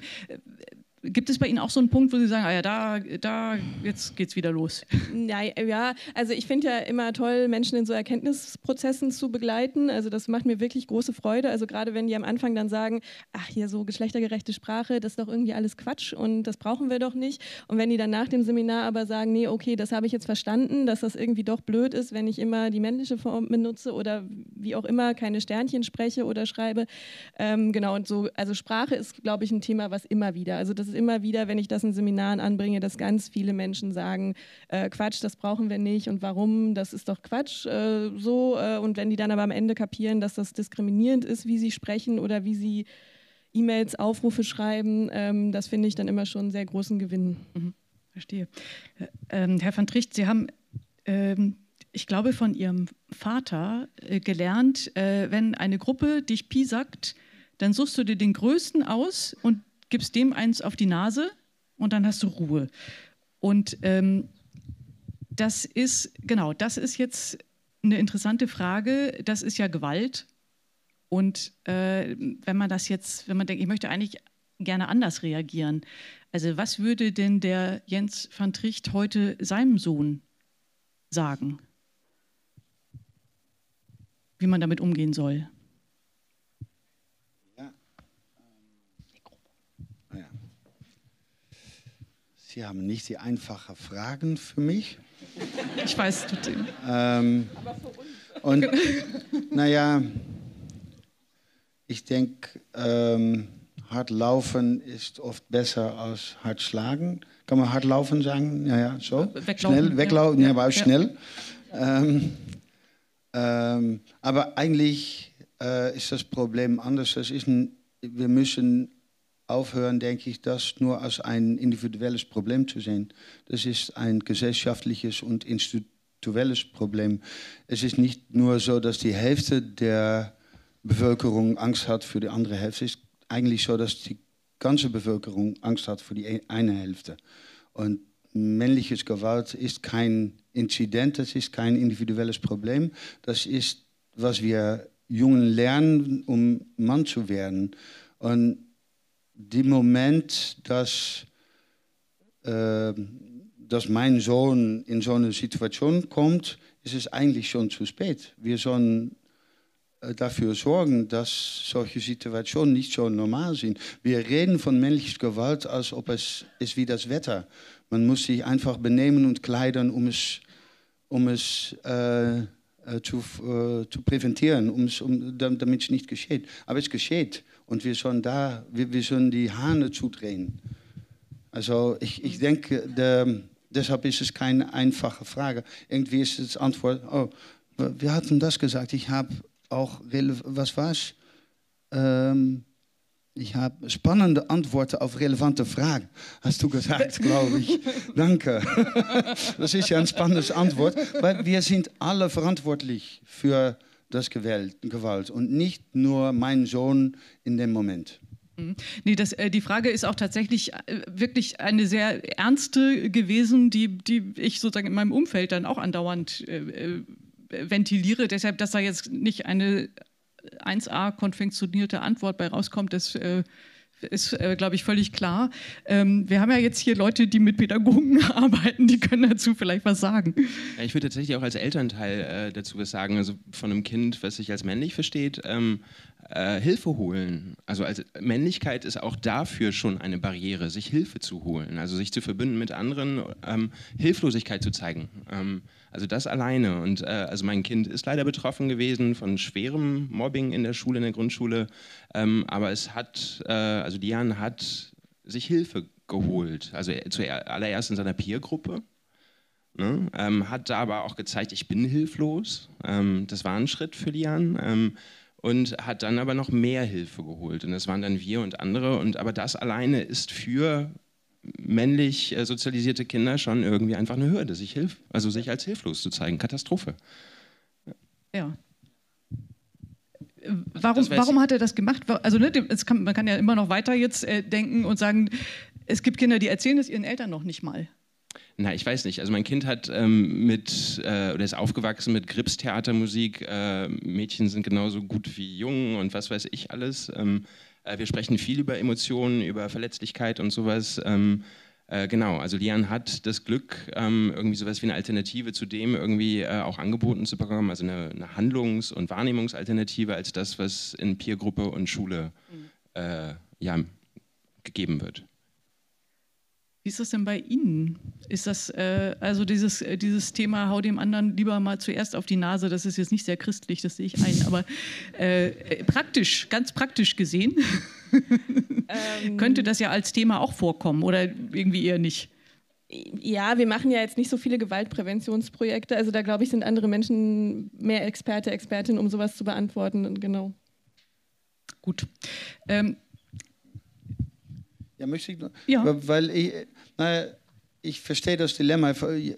Äh, Jahre her habe ich äh, äh, bei den Anarchisten äh, äh, eigentlich einen Themaabend oder Workshop gegeben über Männlichkeit und Gewalt. Und dann eine von meinen Freunden und Kameraden, wir sind noch immer befreundet, ist zu mir gekommen nachher, ich verstehe das alles, aber ich möchte gerne, dass mein Sohn sich verteidigen kann. Also auf einer individuellen Ebene gibt es die Realität, so wie es auch in der Diskussion über äh, Victim Blaming mit Frauen gibt. Äh, Frauen sollen nicht verantwortlich sein für männliche Gewalt, aber wir müssen es damit tun, dass es jetzt besteht. Also die, ich, verstehe das Dilemma und irgendwie verstehe ich auch, dass mein Vater mir das gesagt hat, aber zu gleicher Zeit habe ich auch äh, äh in, in, in das Buch beschrieben, weil mein Vater war überhaupt kein Held der war nicht kraftig, der hat nie einer geschlagen. Also der hat auch mit dem Mythos, Mythos von Männlichkeit gelebt und mir versucht mir zu lernen, was er selber nicht war, aber schon das als Standard äh, hantiert. Ja, ja. Ähm, ist denn äh, äh, bei, bei Ihnen allen, äh, haben Sie alle den Eindruck, dass es äh, vorangeht, also gerade in der Pädagogik? Also dass, äh, ich kann mich jetzt erinnern an äh, Missbrauchspräventionsprojekte, wo den Kindern sozusagen so ein Leitsatz mitgegeben wird, Hilfe holen ist kein Petzen, zum Beispiel, apropos Hilfe holen. So. oder der, der Sohn von meinem Freund hat tatsächlich mal zu meinem Freund, als der die Geduld verlor und ihn anmotzte, gesagt, so redet man nicht mit Kindern. Also die haben was gelernt, so. Und äh, deshalb habe ich immer den Eindruck, es ist vielleicht doch ein bisschen was vorangegangen. Ist das jetzt wieder eine Blasensache oder würden Sie alle sagen, nee, also zumindest in der Pädagogik, da hat sich auch tatsächlich was bewegt? Also ich bin keine Pädagogin, aber ich würde sagen, gesellschaftlich ist es leider nicht so. Also wenn ich mir angucke, Demo für alle, also sogenannte Demo für alle und andere Sachen, ähm, dann würde ich sagen, also die Demos gegen, den, äh, gegen eine Pädagogik der Vielfalt in Baden-Württemberg oder in anderen Bundesländern, sogar auch in Köln mittlerweile, ähm, die, wo Menschen zu Hunderten auf die Straße gehen, um dagegen zu protestieren, dass Kindern und Jugendlichen Vielfalt im Unterricht nahegebracht wird, dann sage ich nö, dann also hat sich leider nicht so viel vorwärts bewegt. Ähm, oder es droht sich wieder alles zurückzubewegen. Und das ist, glaube ich, die große Gefahr, vor der wir heute stehen. Ähm, ich würde ihm total zustimmen. Also ich glaube, oder vielleicht weitergehen und sagen, dass ich schon eher sowas wie einen antifeministischen Rollback auch in der Pädagogik wahrnehme, also in den Lebenswelten von Kindern und Jugendlichen eindeutig. Ähm, also mit so Incel-Geschichten und Pickup-Artist-Geschichten und so weiter und so fort. Das ist relativ weit verbreitet. Ähm, Wir kennen das alle, Incel und Pickup-Artist. Genau, also Incel ist so ein Begriff, ähm, Involuntary Celibatary, also die unfreiwillig äh, Single-Männer. Ähm, und das sind tatsächlich die meisten ähm, Attentate, die in den vergangenen äh, 15 Jahren eigentlich stattgefunden haben, also weltweit, also ähm, sowohl in Neuseeland als auch in den USA, ähm, also so, äh, wo einzelne junge Männer irgendwie rumlaufen und andere umbringen, ähm, äh, waren, die haben sich selbst verstanden als diese involuntary celibataries, also unfreiwillig Single und die machen es halt Frauen zum Vorwurf, ähm, dass sie Single sind und nicht äh, Sexualität leben können und so weiter und so fort. Und also das ist also es ist eine Ausdrucksform von, von männlichem Anspruchsdenken, Male Entitlement definitiv, aber es ist halt unglaublich gewaltvoll, ähm, mörderisch. Ähm, und das sind aber, also es gibt Jugendkulturen, in denen die gehypt werden weiterhin. Es gibt Foren, in denen die hochgehalten werden, in denen die irgendwie bejubelt werden. Ähm, ähm, genau. Ähm, und in der Pädagogik selbst, also ich meine, also LehrerInnen, SozialpädagogInnen sind nicht gefeit davor, irgendwie beschissene politische Ansichten zu haben. Und ähm, Entschuldigung, wenn ich da so mhm. ordinär spreche, ähm, aber äh, also die gesellschaftliche Entwicklung äh, hin zu mehr Autoritarismus, reaktionären äh, Tendenzen und sowas, die macht vor dem pädagogischen Personal natürlich keinen Halt. Und die pädagogischen Strukturen und äh, sozialpädagogischen Strukturen sind nicht so gebaut, dass sie auf äh, Diskriminierungsarmut oder äh, frei, also äh, Vielfalt oder sowas wirklich, ähm, also dass sie sowas, die, die haben das nicht locked in, die haben das nicht mhm. im Kern etabliert. Es hängt immer noch super viel ab von den einzelnen Individuen, die da arbeiten. Und ich würde sagen, dass in so unfreiwilligen Fortbildungen ähm, dass da auch auf eine gewisse Art und Weise die ähm, ja, reaktionäre Positionen, also bis zu rechte Positionen auch wieder zunehmen. Okay. Henning von Bagen hat vorhin versucht, das so schön darzustellen, dass es auf der anderen Seite ja auch gerade was wächst und so. Und ich finde auch immer, ist immer die Frage, wie sehr man in einer Blase lebt. Wie ist es denn, frage ich jetzt mal, um hoffentlich was Positives zu hören, wie ist es denn in den Niederlanden? ist, das genau, ist das genau äh, dasselbe? Äh, würdest du so eine, oder würden Sie so eine negative Einschätzung teilen? Ja, klar, aber ich bin auch ein, ähm, ein äh, Gefangener der Hoffnung, glaube ich, dass ich sagen muss. Äh, das war Desmond Tutu, der das gesagt hat. Ich bin kein Optimist, ich bin ein Gefangener der Hoffnung. Ich habe lange gedacht, ich war ein Optimist. Ich bin da nicht sicher. Ich finde die letzten Jahre, dass es ziemlich bedrohend ist, alles. Wir haben Politiker, die äh, Pickup-Artists zitieren und wo auf ihrem Kongress erzählt wird, dass Nein kein Nein bedeutet. Ähm und zu gleicher Zeit sehe ich auch eine Bewegung, die mir Hoffnung gibt, äh, von vielen junge, junge Leute, ähm, ähm, Verbindungen zwischen sozialen Bewegungen.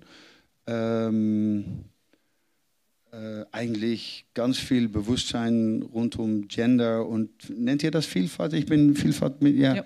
Naja, ähm, bei, bei uns, ähm, ich finde es hoffnungsvoll, dass in die fünf Jahre, dass wir das Emanzipator jetzt besteht, dass immer mehr Männer uns finden, weil sie auf der Suche sind nach einem ein Platz, einem Orientierungspunkt, weil sie äh, die Überzeugung haben, dass es so nicht weitergehen soll, aber die wissen auch nicht, wo die anders zugehören, weil die nicht zur Frauenbewegung und auch nicht zur L LABT, wie heißt man das auf Deutsch? L, wie sagt, LGBT. Oder sagt sie, hä? LGBT, sagt das auf Englisch? Ja. LGBT-Bewegung mhm. gehören. Also ich, ich, sehe, äh, ich sehe äh, oppositionelle Bewegung aber deshalb sage ich hier auch und, und überall, dass es Zeit ist für Menschen, die das Gute wollen, was ich dann verstehe unter das Gute, ähm, dass sie äh, aktiv werden, dass sie nicht warten, bis es wirklich schiefgegangen ist, weil äh, die Drohung ist wirklich, ja. ja. Take Action. Und, und ich möchte, ja, doch, Entschuldigung, es kommt aber noch, ähm, weil, weil, ich wollte da noch was zu sagen zu der Küchentisch-Geschichte. Ja. weil, ja, die, die, ist lustig, aber das war die auch nicht. Wir hatten einen Minister für Gleichberechtigung in den Niederlanden ähm, in 2002 oder so. Der hat gesagt, Emanzipation ist fertig. Männer und Frauen sind jetzt gleich und die müssen das weiter am Küchentisch bekämpfen, zusammen. So im heterosexuellen äh, äh, Normalisierung. Ähm, also die Politik muss nichts mehr tun. Nein, die Poli Politik muss nichts mehr ja. tun. Da, da, da, juridisch äh, war, war, das alles. Und natürlich waren die Männer nicht zum Küchentisch gekommen, um das äh, zusammen zu machen. Also haben wir Küchentischbegegnungen äh, organisiert. Aber es war noch ein giftiges Teil in der Mitteilung der Minister. Da hat nämlich noch hinterher gesagt, oh, aber es gibt noch Frauen von Migrantenhintergrund, die noch wirklich altmodisch unterdrückt werden. Also die Migrantenmänner sollten dann die wirklich altmodisch unterdrücken. Und eigentlich seitdem sieht man die Rassifizierung der Geschlechterdebatte. Äh, das Wort stimmt so. Ich habe das zum ersten Mal hier gehört. Naja, und da, das ist natürlich jetzt auch was hinter die politische äh, Bewegung ist und auch die Normalisierung von Sexismus und Rassismus, weil die einander immer benutzen. Und das sieht man ganz viel im öffentlichen und politischen Debatte in, der, in den Niederlanden. Ja, ja, das finde ich nur da. Ich sage nur. Ich würde auch noch ganz kurz. Ja. Ähm, ich bin auch der Meinung, dass es natürlich auch progressiv vorwärts geht. Also sonst würden wir nicht hier sitzen und sonst würden wir alle unsere Arbeit nicht machen. Nur ich habe immer wieder den Eindruck oder immer noch den Eindruck, dass ähm, es selten oder noch zu selten gesehen wird, dass eine reaktionäre Geschlechterpolitik basaler Bestandteil der sogenannten neuen, so neu sind sie ja nicht, Rechten ist. So. Und da das immer noch viel zu wenig gesehen wird, äh, bin ich dann manchmal so ein bisschen äh, nach dem Motto, ja nein, es geht alles viel zu viel zurück weil ähm, ich häufig immer noch mit Menschen spreche, die das nicht sehen oder nicht sehen wollen. Im Vorgespräch hast du es auch genannt, Scharnierfunktion. Es ist eine sehr klassische Scharnierfunktion, ähm, diese Geschlechterpolitiken zwischen der sogenannten Mitte der Gesellschaft und der extremen Rechten. Und da das immer noch von zu wenigen Menschen gesehen wird, bin ich dann an der Stelle manchmal vielleicht so ein bisschen negativ, weil ich halt mhm. das schon nochmal in den Mittelpunkt stellen möchte, dass das halt leider nicht selbstverständlich ist. Also mhm. wir werden nicht irgendwann äh, nach äh, Fukuyama ein Ende der Geschichte haben, wo alle gleichberechtigt sind und äh, happily ever after leben, ähm, wenn wir nicht daran arbeiten, dass das so wird und dann ähm, und solche Kräfte halt in unserer Gesellschaft unterdrücken. Also mit Scharnierfunktion, das muss man vielleicht ein bisschen erklären, ne? dass, es, äh, dass das etwas ist, worauf sich sehr viele einigen können.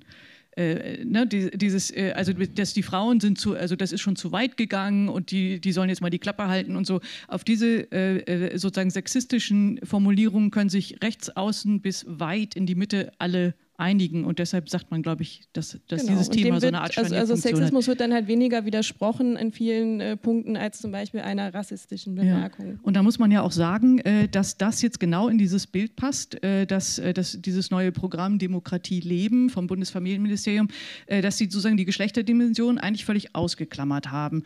Äh, obwohl, äh, äh, das haben Sie schon gesagt, äh, sozusagen es bilden sich tagtäglich neue Männergruppen, die toxische Männlichkeit leben. Äh, die Einzeltäter, die wir in letzter Zeit gesehen haben, sind sozusagen Standardbeispiele von toxischer Männlichkeit. Das heißt, äh, es, ist, es steht sozusagen geschrieben an der Wand und das Ministerium sagt, das ist nicht das Problem. Warum? äh, das, also ich, äh, das übersteigt meine hellseherischen Fähigkeiten, da genau zu sagen, was da haben der Sie Hintergrund. Sich darüber Gedanken Nein, gemacht ich glaube, im, im Hintergrund stehen definitiv, also es gibt, oder um das nochmal zu erläutern, es gibt ähm, das, das größte äh, bundesdeutsche Programm zur Bekämpfung von sogenannten gruppenbezogener Menschenfeindlichkeit. Das ist so der Versuch, irgendwie die Struktur aus Diskriminierung rauszunehmen.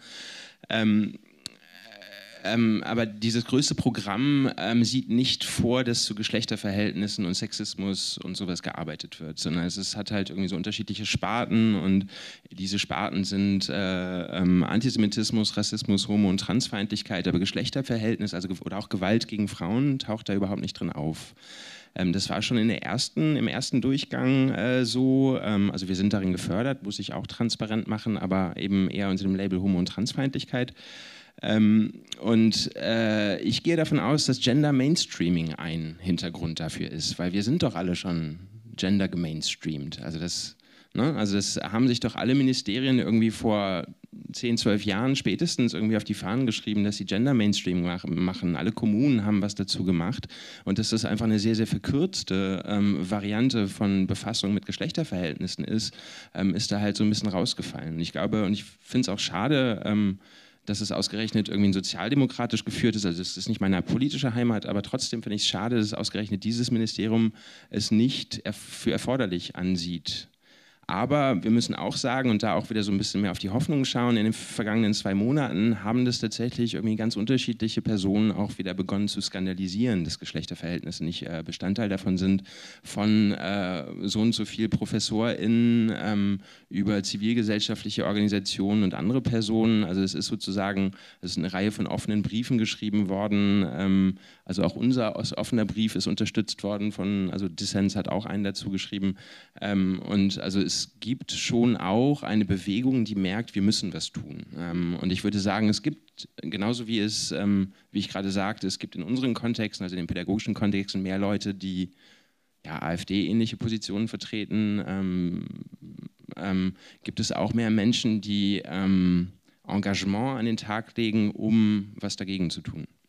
Ich möchte, bevor wir ähm, äh, Sie auch einfach einbeziehen in die Diskussion. Sie können sich schon mal überlegen, was Sie sagen oder fragen möchten. Äh, möchte ich nur noch mal kurz äh, fragen, ähm, ist es in den Niederlanden jetzt äh, quasi parallel oder gibt es da zum Beispiel eine Männerpolitik oder ne, irgendwie der Ansatz von äh, geschlechterreflektierter zu werden oder sowas in der Politik? Gibt es da was? Mikrofon, genau. Ich habe eigentlich gehofft, hier in Deutschland jetzt mehr zu lernen, wie es hier ist, sodass ich das vergleichen kann.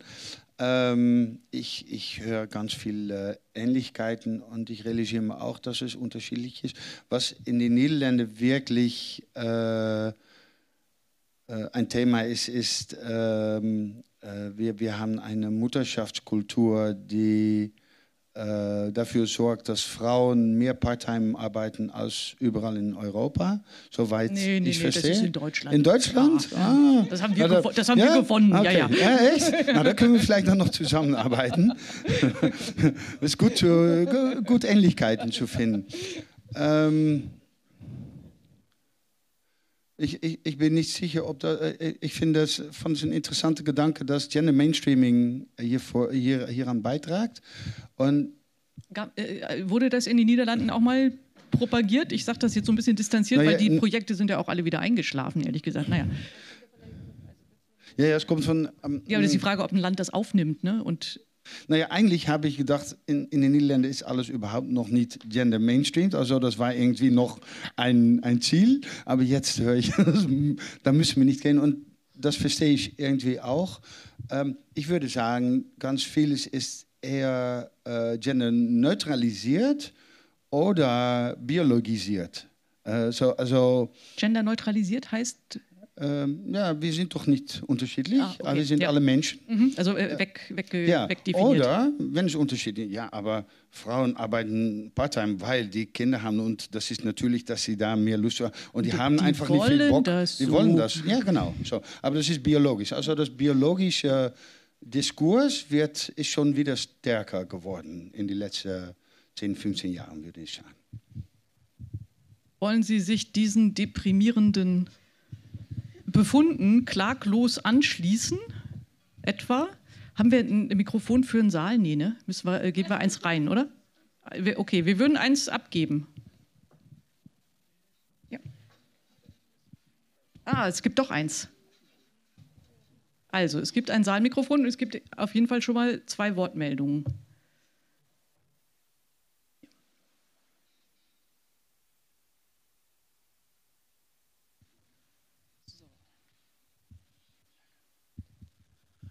Äh, ich würde normalerweise, normalerweise, nicht als Mann die erste Frage äh, stellen, aber vielleicht heute darf, darf ich das. ähm, es geht um Ihre ähm, politische Positionierung von früher oder vielleicht von heute noch. Ähm, ich, ich, sehe, dass Anarchismus äh, Feminismus braucht, aber braucht Feminismus auch Anarchie, also Anarchismus und, oder vielleicht was davon. Jetzt aber ganz kurz, ne? Ja, ja. Naja, ich, ich würde sagen, vielleicht müssen wir ein Glas Wein trinken und drüber reden. Ähm, ich kann nicht sagen, was Feminismus und Anarchismus im Allgemeinen sind. Ich kann nur für mich reden. Und äh, ich würde sagen, Anarchismus, mein Anarchismus handelt sich um ähm, anti-autoritäres Denken und Handeln, also nicht akzeptieren, was mir aufgelegt wird. Und Feminismus handelt sich um eigentlich eine fundamentelle Frage von allem, was ich in, in, in der Welt und Gesellschaft mitmache, durch eine feministische Lens, durch eine Lense, die das Geschlechterunterschied, das gemacht wird, zentral stellt. Und dort kommen die für mich wirklich nah zusammen. Aber ich weiß, es gibt ganz viele Feministen, Feministinnen und Anarchisten und Anarchistinnen, die ganz andere Gedanken darüber haben. Mir wirklich mehr beim Wein, wenn es jetzt sehr theoretisch wird. Ähm, ich habe eine Frage zu diesen sogenannten weiblichen, männlichen Charaktereigenschaften oder sonstigen Eigenschaften, die du ja auch so für deine Dekonstruierung vor allem äh, verwendet hast. Hast du manchmal Sorge, dass es dadurch aber sich auch irgendwie total reproduziert dann irgendwie oder irgendwie hast du schon eine Idee, was man für eine alternative Terminologie halt vielleicht verwenden könnte, damit man quasi sich nicht immer darauf so berufen muss und irgendwie auch so eine neue Konstruierung für Männer zum Beispiel halt auch möglich wird. Ja, ich verstehe das. Ich, das sehe ich als einer der größten Dilemmas in meiner Arbeit, aber eigentlich in ganz vielen Emanzipationsinitiativen. Wir äh, benutzen immer die Charakterisierung, die wir eigentlich äh, loswerden wollen. Äh, aber wenn wir wir können auch nicht genderblind sein, wir können nicht äh, äh, farbeblind sein, wir können nicht geschlechterblind sein. Wir müssen irgendwie ernst nehmen, welche Unterschiede gemacht werden und dann versuchen, die äh, gehen zu lassen und, und zu transformieren. Aber es ist schon ein Dilemma, ja. Und es kommt auch wie, immer wieder zurück bei Veranstaltungen und Trainings, ja. Vielen Dank. Jetzt habe ich die Anarchismusdiskussion abgewürgt. Das ist jetzt die Strafe. Hier kommt noch eine Frage oder Anmerkung. Genau.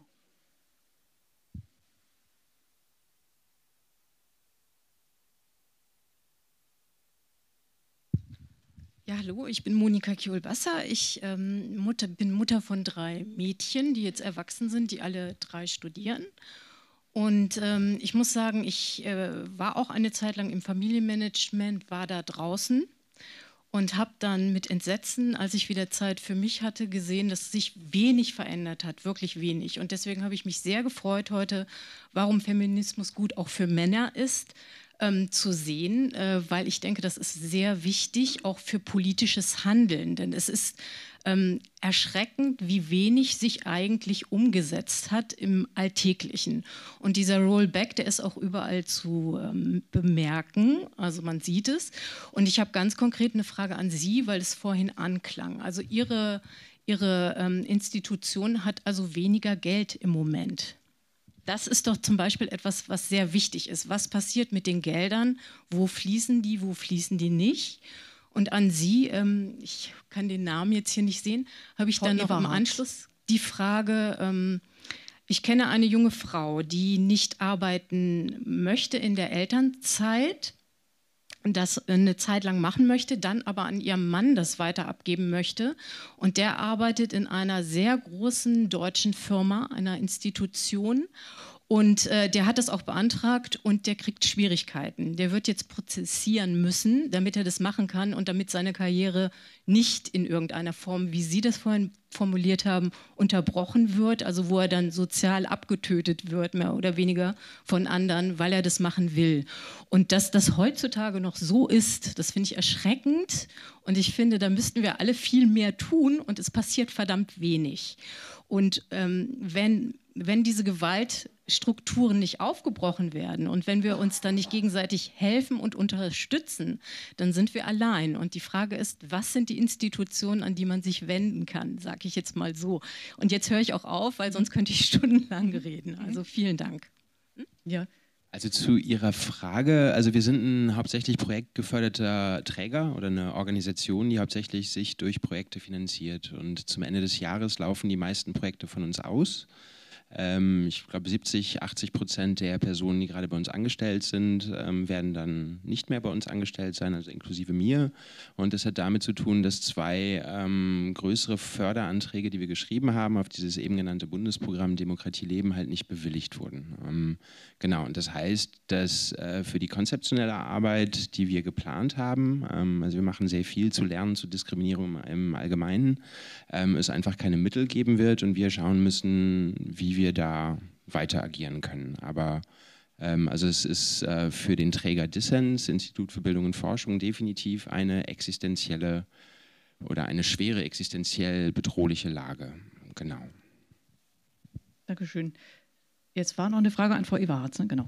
Ja, genau. Ich weiß, also ehrlich gesagt habe ich die Frage nicht rausgehört. Ich teile aber Ihre Kritik äh, absolut. Und ähm, ich denke, wenn es eine ähm, gerechtere Verteilung von Elternzeit äh, in Deutschland geben soll, also gerechter verteilt zwischen den Geschlechtern, dann muss man auch die entsprechenden Anreize schaffen. Und da sich nun mal der Bezug von Elterngeld an dem Einkommen äh, orientiert, was vor der Geburt des Kindes erzielt wurde und wir immer noch einen Gender Pay Gap in Deutschland haben, der sehr, sehr hoch ist, ähm, wird es, glaube ich, solange dieser Gender Pay Gap nicht kleiner wird, da weiter eine strukturelle Ungleichheit geben. Und ähm, der zweite Punkt ist, es braucht wie immer äh, Menschen, die es machen und Vorbilder. Das ist genau die gleiche Sache wie mit der Quote für Frauen in Aufsichtsräten. Die erste Frau im Aufsichtsrat wird sich immer doof fühlen, nehme ich an. Ich war noch nie im Aufsichtsrat, aber ähm, genauso wird es sein mit dem ersten Mann in einem äh, Betrieb, der für längere Zeit in Elternzeit geht. Und ich glaube, das sind zwei Sachen. Erstens, die strukturellen Anreize müssen verbessert werden und auf der anderen Seite muss es halt mehr Vorbilder geben, die halt einfach das leben, was sie ähm, sich da auch gewünscht haben in ihrer Anmerkung eben. Ich glaube, die, äh, die Frage, die da drin steckte und die ich auch äh, äh, tatsächlich in die Runde geben würde nochmal, war, äh, an wen wende ich mich denn, wenn ich merke, das klappt nicht mit meinem Chef zum Beispiel? Äh, sozusagen, wo ist die Institution, die mir helfen kann? Gibt es eine Idee? Kommt, kommt ein Mikrofon von hinten? Ja, das lohnt sich eigentlich nicht. Ich habe bei verschiedenen Tagungen Berichte gehört von Männern, die in Vätergruppen arbeiten, die zu solchen Dingen Erfahrung haben und die dann so einen Mann, der den Antrag stellt, auch unterstützen könnten und die also dann auch Verbindungen haben. Ich weiß aber nicht mehr genau, wie der Mann hieß oder die Männer, die diese Vorträge gemacht haben, wie genau der Verband heißt. Aber möglicherweise würde man über Vätergruppen also die im Internet finden. Also das es waren also Tagungen, glaube ich, der Friedrich-Ebert-Stiftung oder solche Kontexte oder also so vom WSI, also von dem Institut, also dazu auch sowas. Also das Thema gibt es schon länger und ich erinnere mich, in verschiedenen Berufsgruppen ist es leichter, im öffentlichen Dienst ist es viel leichter, da gibt es Vorbilder, also in Unis oder so Stadtverwaltungen, also da kriegt man also die Bewilligungen. In der Privatwirtschaft also ist es verschiedener in unterschiedlichen Bereichen und es gibt verschiedene Großbetriebe, die also so eine Art Diversity-Politik machen und auf ihre familienfreundliche Politik stolz sind und also die da sicher auch Vorbilder wären, aber es ist ein bisschen Recherchearbeit, es zu suchen. Ähm, es gibt aber auch tatsächlich, also äh, in der Regel fühlen sich die äh, Landesgleichstellungsbeauftragten dafür auch verantwortlich ähm, und auch die Antidiskriminierungsstelle des Bundes macht dazu teilweise gute Beratungen. Ähm, genau. Und, und, und, der Länder auch, ne? Die und, Landes und auch die Landesstellen, genau. Auch die Landesantidiskriminierungsstellen, genau. äh, die haben dann unterschiedliche Namen, aber die machen da auch Beratungen. In Berlin gibt es noch das Väterzentrum. genau. genau so. äh, an der Stelle auch nochmal zu Vätergruppen. Also da, die sollten teilweise auch mit Vorsicht äh, betrachtet werden, weil die teilweise mit sehr, sehr ja, schwierigen äh, Konzepten von Geschlechterungerechtigkeit ähm, daherkommen. Also das sind, also die sind leider auch ähm, gut finanziert teilweise und kommen dann daher und sagen, dass äh, die Männer halt alle ganz schlecht behandelt werden, ähm, wegen dem ganzen Genderismus. Aber die werden natürlich auch Ja, ja.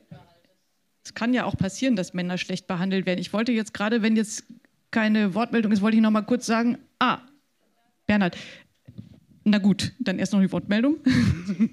ich setze mich jetzt auch auf die Liste.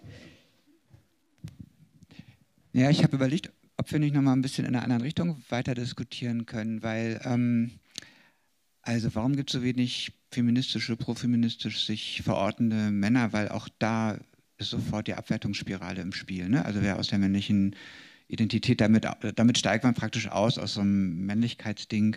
Äh, das haben wir beim Elterngeld, das haben wir beim Nicht-Mitschlagen, bei ganz vielen verschiedenen Sachen. Und ähm, interessant ist ja, die, die, ich würde sagen, in den männerpolitischen Szenen ist in Deutschland ist in den letzten Jahrzehnten definitiv äh, die Thematisierung von Sexismus, von Patriarchat, von, von männlichem Gewalthandeln, ähm, zurückgegangen. Das ist so, hat sich so verunsichtbart. Das sind zwei verschiedene Faktoren, die da mitspielen.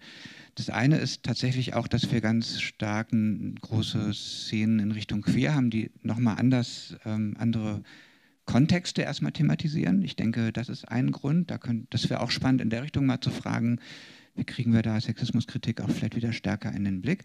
Aber ich würde viel mehr über die Männerszenen reden. Ähm, ich glaube auch viele, die sich mit auf Männerseiten mit Geschlecht beschäftigen, finden erstmal im Wesentlichen identitäre Angebote, die aus so einem binären, zweigeschlechtlichen Kontext gar nicht rausdenken können. Und da finde ich eigentlich, das fand ich auch schön an dem Buch von Jens, von Jens van Tricht, dass das da drin eigentlich enthalten ist. Ich finde, da bleibt immer die Herrschaftskritik mit drin und da bleibt immer auch, bleiben jede Menge Anschlüsse, dass wir ähm, aus einer männlichen Perspektive Patriarchat kritisieren, aber auch alle anderen Aspekte von geschlechtlichen, ähm, von geschlechtlichen Machtverhältnissen mit reinnehmen. Das hast du jetzt in deinen Beiträgen, Jens, heute nicht so stark gemacht. Ich finde, das ist im Buch etwas stärker präsent. Und da fände ich eigentlich spannend, nochmal weiterzureden, wie können wir da wieder stärker werden. Ja, ist das ein bisschen zu dem Thema? Sonst würde ich das nämlich noch mal kurz erörtern wollen. Ist, ist eigentlich dazu. Da kommt noch ein Mikrofon, genau, von der Seite. Hi, ich bin äh, Laura. Ich habe mich nur gerade gefragt, auch in Anknüpfung an das, was mein Vorredner gesagt hat, der ja über Herrschaftskritik sprach, inwiefern sozusagen ähm, Sie auch darüber nachgedacht haben, dass ähm, kapitalistische Strukturen und so eine neoliberale ähm, Ausrichtung unserer Gesellschaft einfach eben genau diese dichotomen Vorstellungen von Geschlecht und Geschlechtlichkeit auch verstärken und ähm, wie das quasi in Ihrem Buch mitgedacht wird und was Sie sich da für Gedanken zugemacht haben. Wieder eine potenzielle Weinfrage, aber trotzdem kann man die ja äh, ne, anfangen zu beantworten. Nein, äh, ich, ich glaube, ich, ich, schreibe irgendwo, dass eigentlich das, äh, das ganze neoliberale System gebaut ist auf traditionell männliche äh, Ideen von Bürgerschaft und Menschlichkeit und was wertvoll ist. Ich meine, Autonomie, Unabhängigkeit, Kompetition, Dominanz, all die Sachen, die in Neoliberalismus zum Norm geworden sind, sind auch immer schon für Männer die Norm gewesen. Und irgendwie lernen wir alle, dass wir eine einsame Cowboy sein sollen in dieser Welt und auch, dass Fehler immer unsere eigene Schuld ist. Ähm, ja. Ja, ich möchte vielleicht noch mehr dazu sagen, aber ich muss auch nicht zu theoretisch abgehen, glaube ich. Ja, wie, also wie gesagt, wir haben ja das Glück mit dem ja. Wein nachher noch. Ja, äh, äh, ja, genau. Weinfragen. Ja, Eine Weinfrage, genau.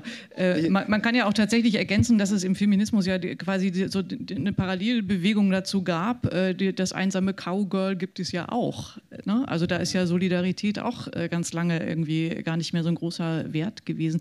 Ich würde das gerne nochmal aufnehmen, was der Herr Könnecke gesagt hat ähm, und äh, gleich verbinden nochmal mit Emanzipator. Denn ähm, das, äh, als wir so sagten, ja, mit wem, wo ist denn jetzt eigentlich hier unsere, unser Motor oder unsere Institution oder sowas, habe ich gedacht, das ist natürlich, ähm, also Sie machen jetzt so eine kleine Männerbewegung mit Emanzipator. Oder also könnt, könnt ihr mal sagen, was das jetzt eigentlich, was Kleine machen schon, was, aber nicht Männerbewegung. Was, okay? machen Sie, was machen Sie denn da? ja, na, erstmal, wir sind keine Männerorganisation und wir sind eine Emanzipation, Emanzipationsorganisation, die sich darauf zielt, Jungen und Männer zu, äh, zu wie sagt man das, zu beziehen. Uh, to engage. Also in, in Men Engage sagen wir Engaging Boys and Men in Gender Justice. Mhm. Also das ist, was wir mhm. versuchen mit Emanzipator. Wir wollen Jungen und Männer zum Teil der Lösung machen und dafür müssen wir auch benennen, wo sie Teil der, des Problems sind. Wir sind genauso wie Dissens Projekt äh, finanziert. Wir sind jetzt mit etwa sechs Leuten alle auf zeitliche Kontrakte oder als Selbstständiger äh, und in mehr oder weniger Part-Time mhm. äh, Zeitverband. Ähm, in, seit 2016 haben wir jährlich äh, die White Ribbon Campaign, die haben wir nach den Niederlanden äh, übersetzt. Das ist international schon seit 30 Jahren eine Kampagne, wo Männer werden angesprochen und aufgerufen, sich einzusetzen, um Gewalt zu beendigen. Ähm, das haben wir äh, gemacht nach der dramatischen Geschichte in Köln mit äh, Silvester äh, 2016. Da haben wir die, die äh, ganz schlimme äh, rassistische, xenophobe äh, Hetze gegen Flüchtlinge gehabt, schon vorher. Und dann nach, äh, nachher, dann haben wir zusammen mit dem Gleichberechtigungsministerium gesagt, wir müssen in Kampagne äh, klar machen, dass es äh, ein Männerproblem ist, kein Flüchtlingsproblem, kein ethnisches Problem, kein Farbeproblem, aber ein Männerproblem und ein Männlichkeitsproblem. Also das haben wir seitdem jährlich gemacht. Wir haben zusammen mit äh, ein paar Men Engage Partners ähm, ein Toolkit entwickelt und geben Workshops äh, in Schule und in Jugendarbeit. Also irgendwie sind wir da dort Kollegen. Ähm, wir haben eine eine Gruppe von jungen Männern, Multiplikatoren, ich habe ein Wort gelernt, die die Workshops geben und wir arbeiten ganz viel mit Organisationen auch, die äh, Männer beziehen wollen. Ähm, also die meiste Arbeit, die wir machen, ist zusammen mit Organisationen und seit 2016 haben wir angefangen, so ein Platz für Männer zu sein, die sich aussprechen und einsetzen wollen. Wir sind auch Teil ein, eines Programms mit drei Frauenorganisationen, die äh, von verschiedenen Richtungen versuchen, Frauen äh, in bezahlte Arbeit zu stimulieren, in äh, STEAM, äh, also te technische Berufe. Ah, MINT, MINT sagen Mint? wir wahrscheinlich ah, dann okay. auf Deutsch. Ja. ja. Und, und äh, zum, äh, wie sagt man das, äh, Managementfunktion, äh, höhere, höhere äh, Position und überhaupt zur ökonomischen Selbstständigkeit. Und da haben wir dann die schöne ähm, Aufforderung, Männer und Jungs Richtung äh, Fürsorge zu stimulieren. Also das kann Vaterschaft sein, kann auch beruflich sein. Eigentlich habe ich eine ganz schöne Werbung gesehen heute. Äh, ich habe ein Bild gemacht, weil es hat gesagt, hier in Deutschland dachte ich, als ah, interessantes Initiativ von Pflegeausbildung.net, mach Karriere als Mensch. Und da habe ich gedacht, das ist schon interessant, dass, weil, weil es gibt äh, hier wahrscheinlich auch in den Niederlanden auch ganz viele, äh, äh, man braucht viele, viel Personal, aber kriegt es nicht. Und dann wird immer gesucht, wie kriegen wir mehr Frauen, die mehr Arbeit in, in Pflegesorge machen können. Aber es gibt ganz viele arbeitslose Männer, die das auch machen können. Also da beschäftigen wir uns jetzt ein bisschen.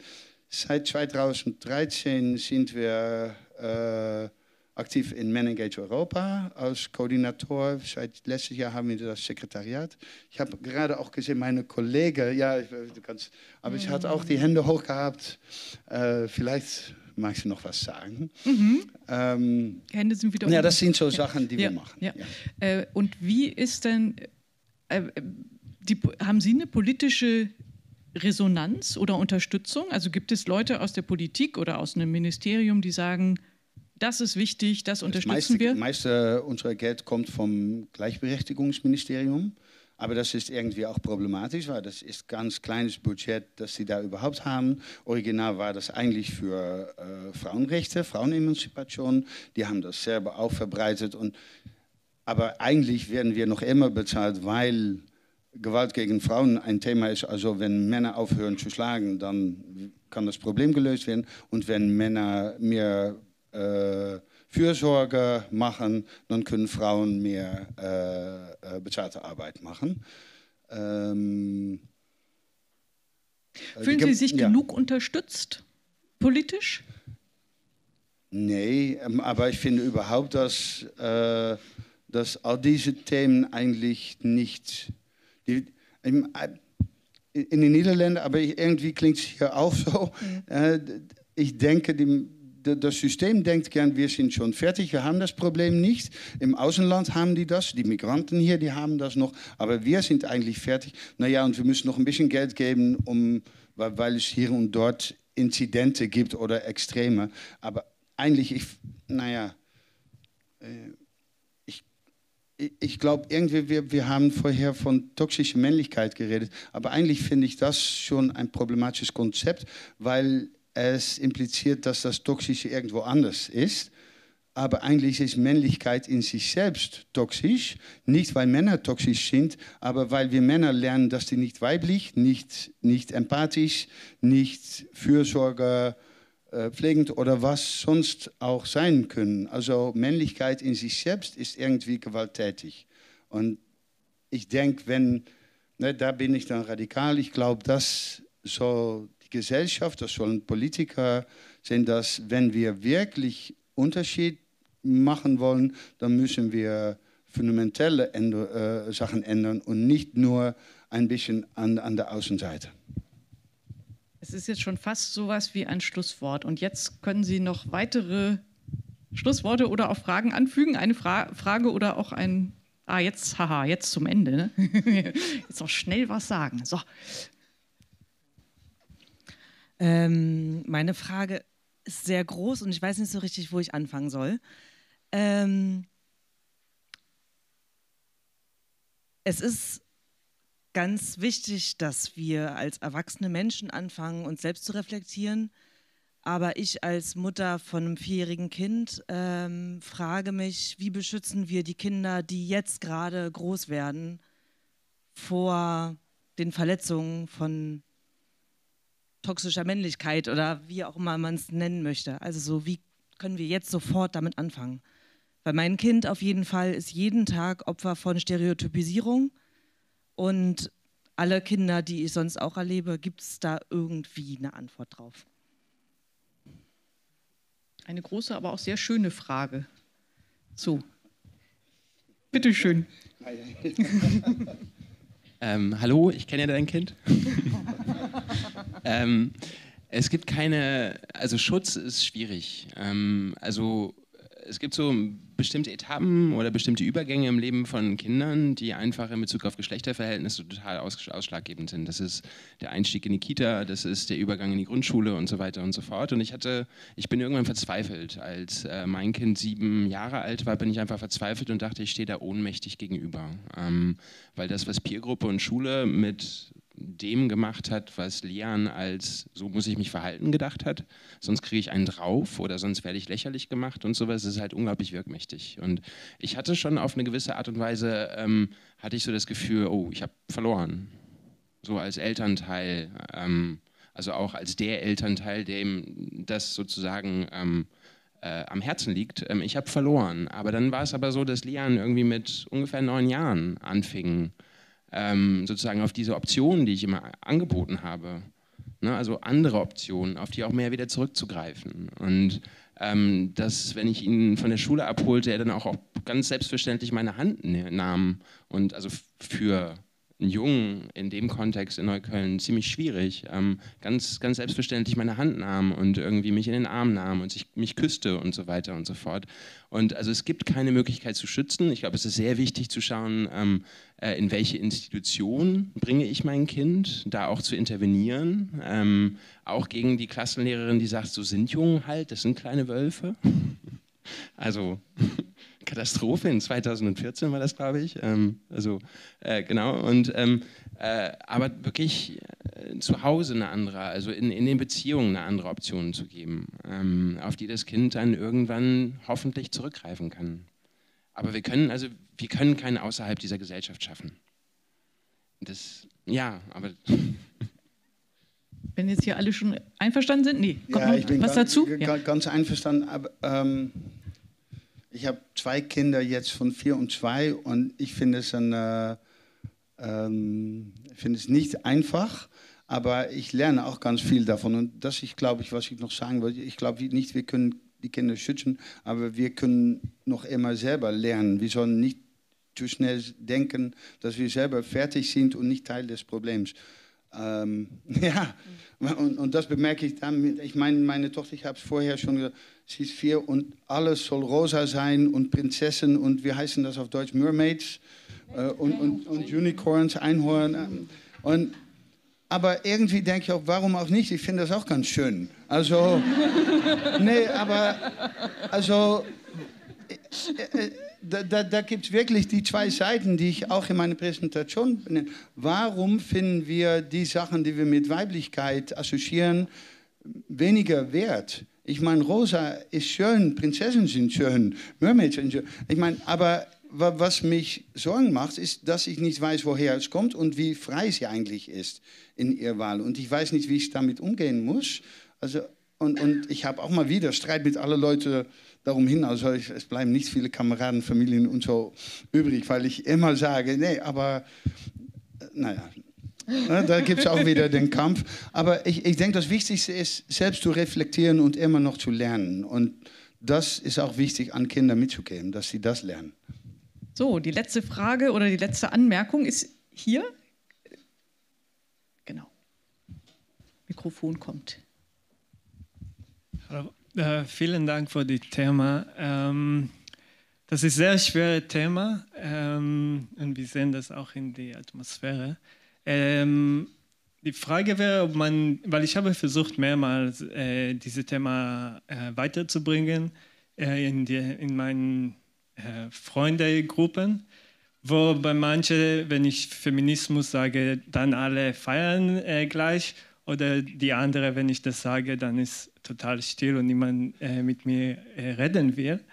Die Frage, ob, ob es gibt äh, Beispiele oder Ideen, wie man dieses Thema mit Spaß äh, behandeln kann, wie man äh, die, die Gelegenheit, die, die, die neue Möglichkeit, dass wir als Männer äh, haben, so mehr, in dem, so mehr vorne bringen kann, statt die sehr, sehr schwere Themen auf die andere Seite. Schon wieder eine total schwere Frage. Aber jetzt. Ja, ich hatte gedacht, ich hätte eine super Antwort, bis zu Spaß gesagt hast.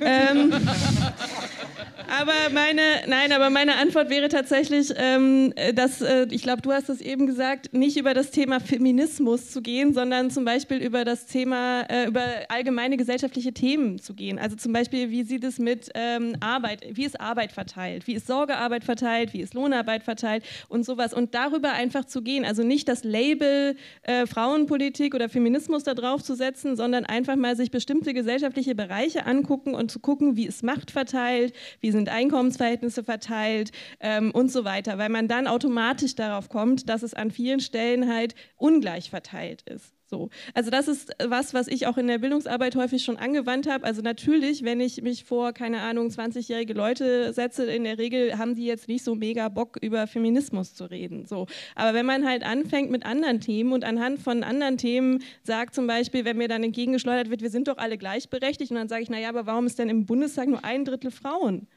Wenn wir alle so gleichberechtigt sind, warum ist das denn dann so? So, und ich finde halt, sich über solche Sachen zu nähern, ähm, hilft häufig sehr stark. Das hat dann vielleicht nicht so viel mit Spaß zu tun, aber ähm, es ist zumindest ein Trick, um halt so durch die Hintertür dann doch über Feminismus zu sprechen. Genau, ähm, ich würde ergänzen, um noch einen anderen Lebensbereich, der total gut angesprochen werden kann, das sind nämlich unsere Beziehungen. Also in Freundinnenkreisen ist es ja immer wieder, ich meine, das ist ja so repetitiv, das ist wieder kaputt gegangen, das hat wieder nicht funktioniert, ich konnte wieder nicht oder wir haben uns schon wieder gestritten und so weiter und so fort.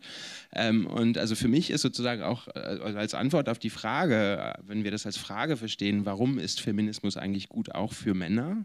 Ähm, also außer dass sie dann weniger gewaltvoll und so weiter und so fort sein können, ist tatsächlich bessere Beziehungen zu führen. Also in sich gehen zu können, irgendwie sich mit sich selbst beschäftigen zu können. Und ich würde sagen, also der große Ertrag meiner zweiten Phase meiner Beschäftigung mit Feminismus, also meine erste war halt für die anderen, um weniger Schaden anzurichten. Meine zweite war, was, was ist, hat Männlichkeit mit mir gemacht? Und seitdem ich das gemacht habe, habe ich einfach, also immer noch keine perfekten Beziehungen, bei Weitem nicht. Und das wird wahrscheinlich bis zu meinem Lebensende ein, ein Auseinandersetzungsprozess sein. Aber tatsächlich, ich habe bessere Beziehungen mit mir selbst, aber auch zu anderen Menschen und in unseren Freundinnenkreisen. Ich meine, wir reden ja häufig viel zu selten über Probleme, sondern suchen immer den Spaß. Ähm, aber das sind Anknüpfungspunkte in meinen Freundinnenfeldern, die nicht äh, sich als feministisch äh, positionieren würden, ähm, über solche Themen zu sprechen. Also das, was mich berührt. Warum, woher könnte mein Interesse kommen, sich mit, äh, damit zu befassen?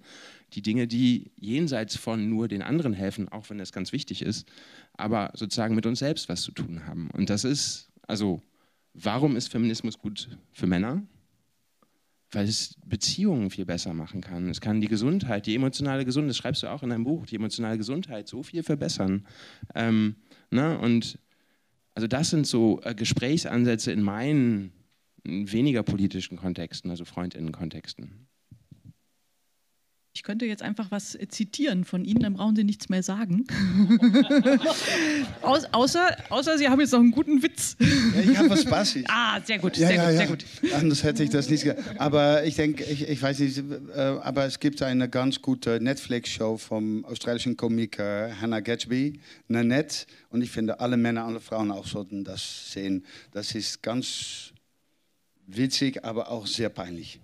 Super. Wie heißt das nochmal genau? Nanette. Nanette, Ja. wie der Frauenname Nanette. Nanette, Frauenname, das ist der Titel. Und Hannah Gatsby ist der Name der Komiker. Super. Ja, ich weiß nicht, ob es äh, deutsche Untertitel gibt, aber es soll es eigentlich doch schon. Okay, wir haben, wir haben einen super Tipp zum Ende. Äh, Henning von Bargen möchte jetzt noch was loswerden oder nicht mehr? Doch. Sehr gut. Und ich, Ich, ich, lese so lange noch schnell mein Zitat vor, damit wir das auch noch hören. Das, das, ist eine Zusammenfassung dessen, was jetzt gerade eben noch gesagt wurde. Äh, als Mann menschlicher zu werden, ist kein einfaches Unterfangen, sondern verbunden mit Höhen und Tiefen. Sie müssen damit anfangen und nie mehr damit aufhören. Das ist das Zitat aus dem Buch von Jens von Tricht. Ich bedanke mich jetzt schon mal ganz, ganz herzlich bei Ihnen allen. Henning von Bagen baut hier Sachen auf. Das wird, das wird jetzt noch ein bisschen dauern bis zum Wein. Ja, ich wollte mich erst nochmal herzlich bedanken bei allen äh, hier auf dem Podium und die hier mitgewirkt haben nochmal. Und damit äh, das Thema einfach weiter mitschwingt, äh, gibt es hier so eine Kleinigkeit zum Mitnehmen. Und zwar, äh, wir haben so eine Tasse gemacht, da steht drauf, mit Feminismus gut durch den Tag und mit dem Kaffee morgens da drauf gucken, ist das immer ein guter Anlass.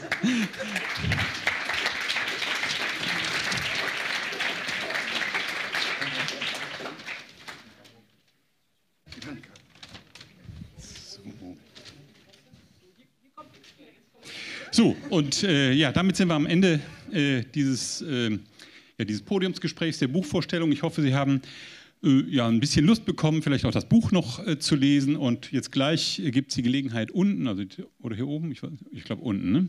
unten die Treppe runter in der Cafeteria gibt es dann den kleinen Empfang. Es gibt Glas Wein, äh, auch ein Bier, äh, nicht alkoholische Getränke und noch ein Brezel.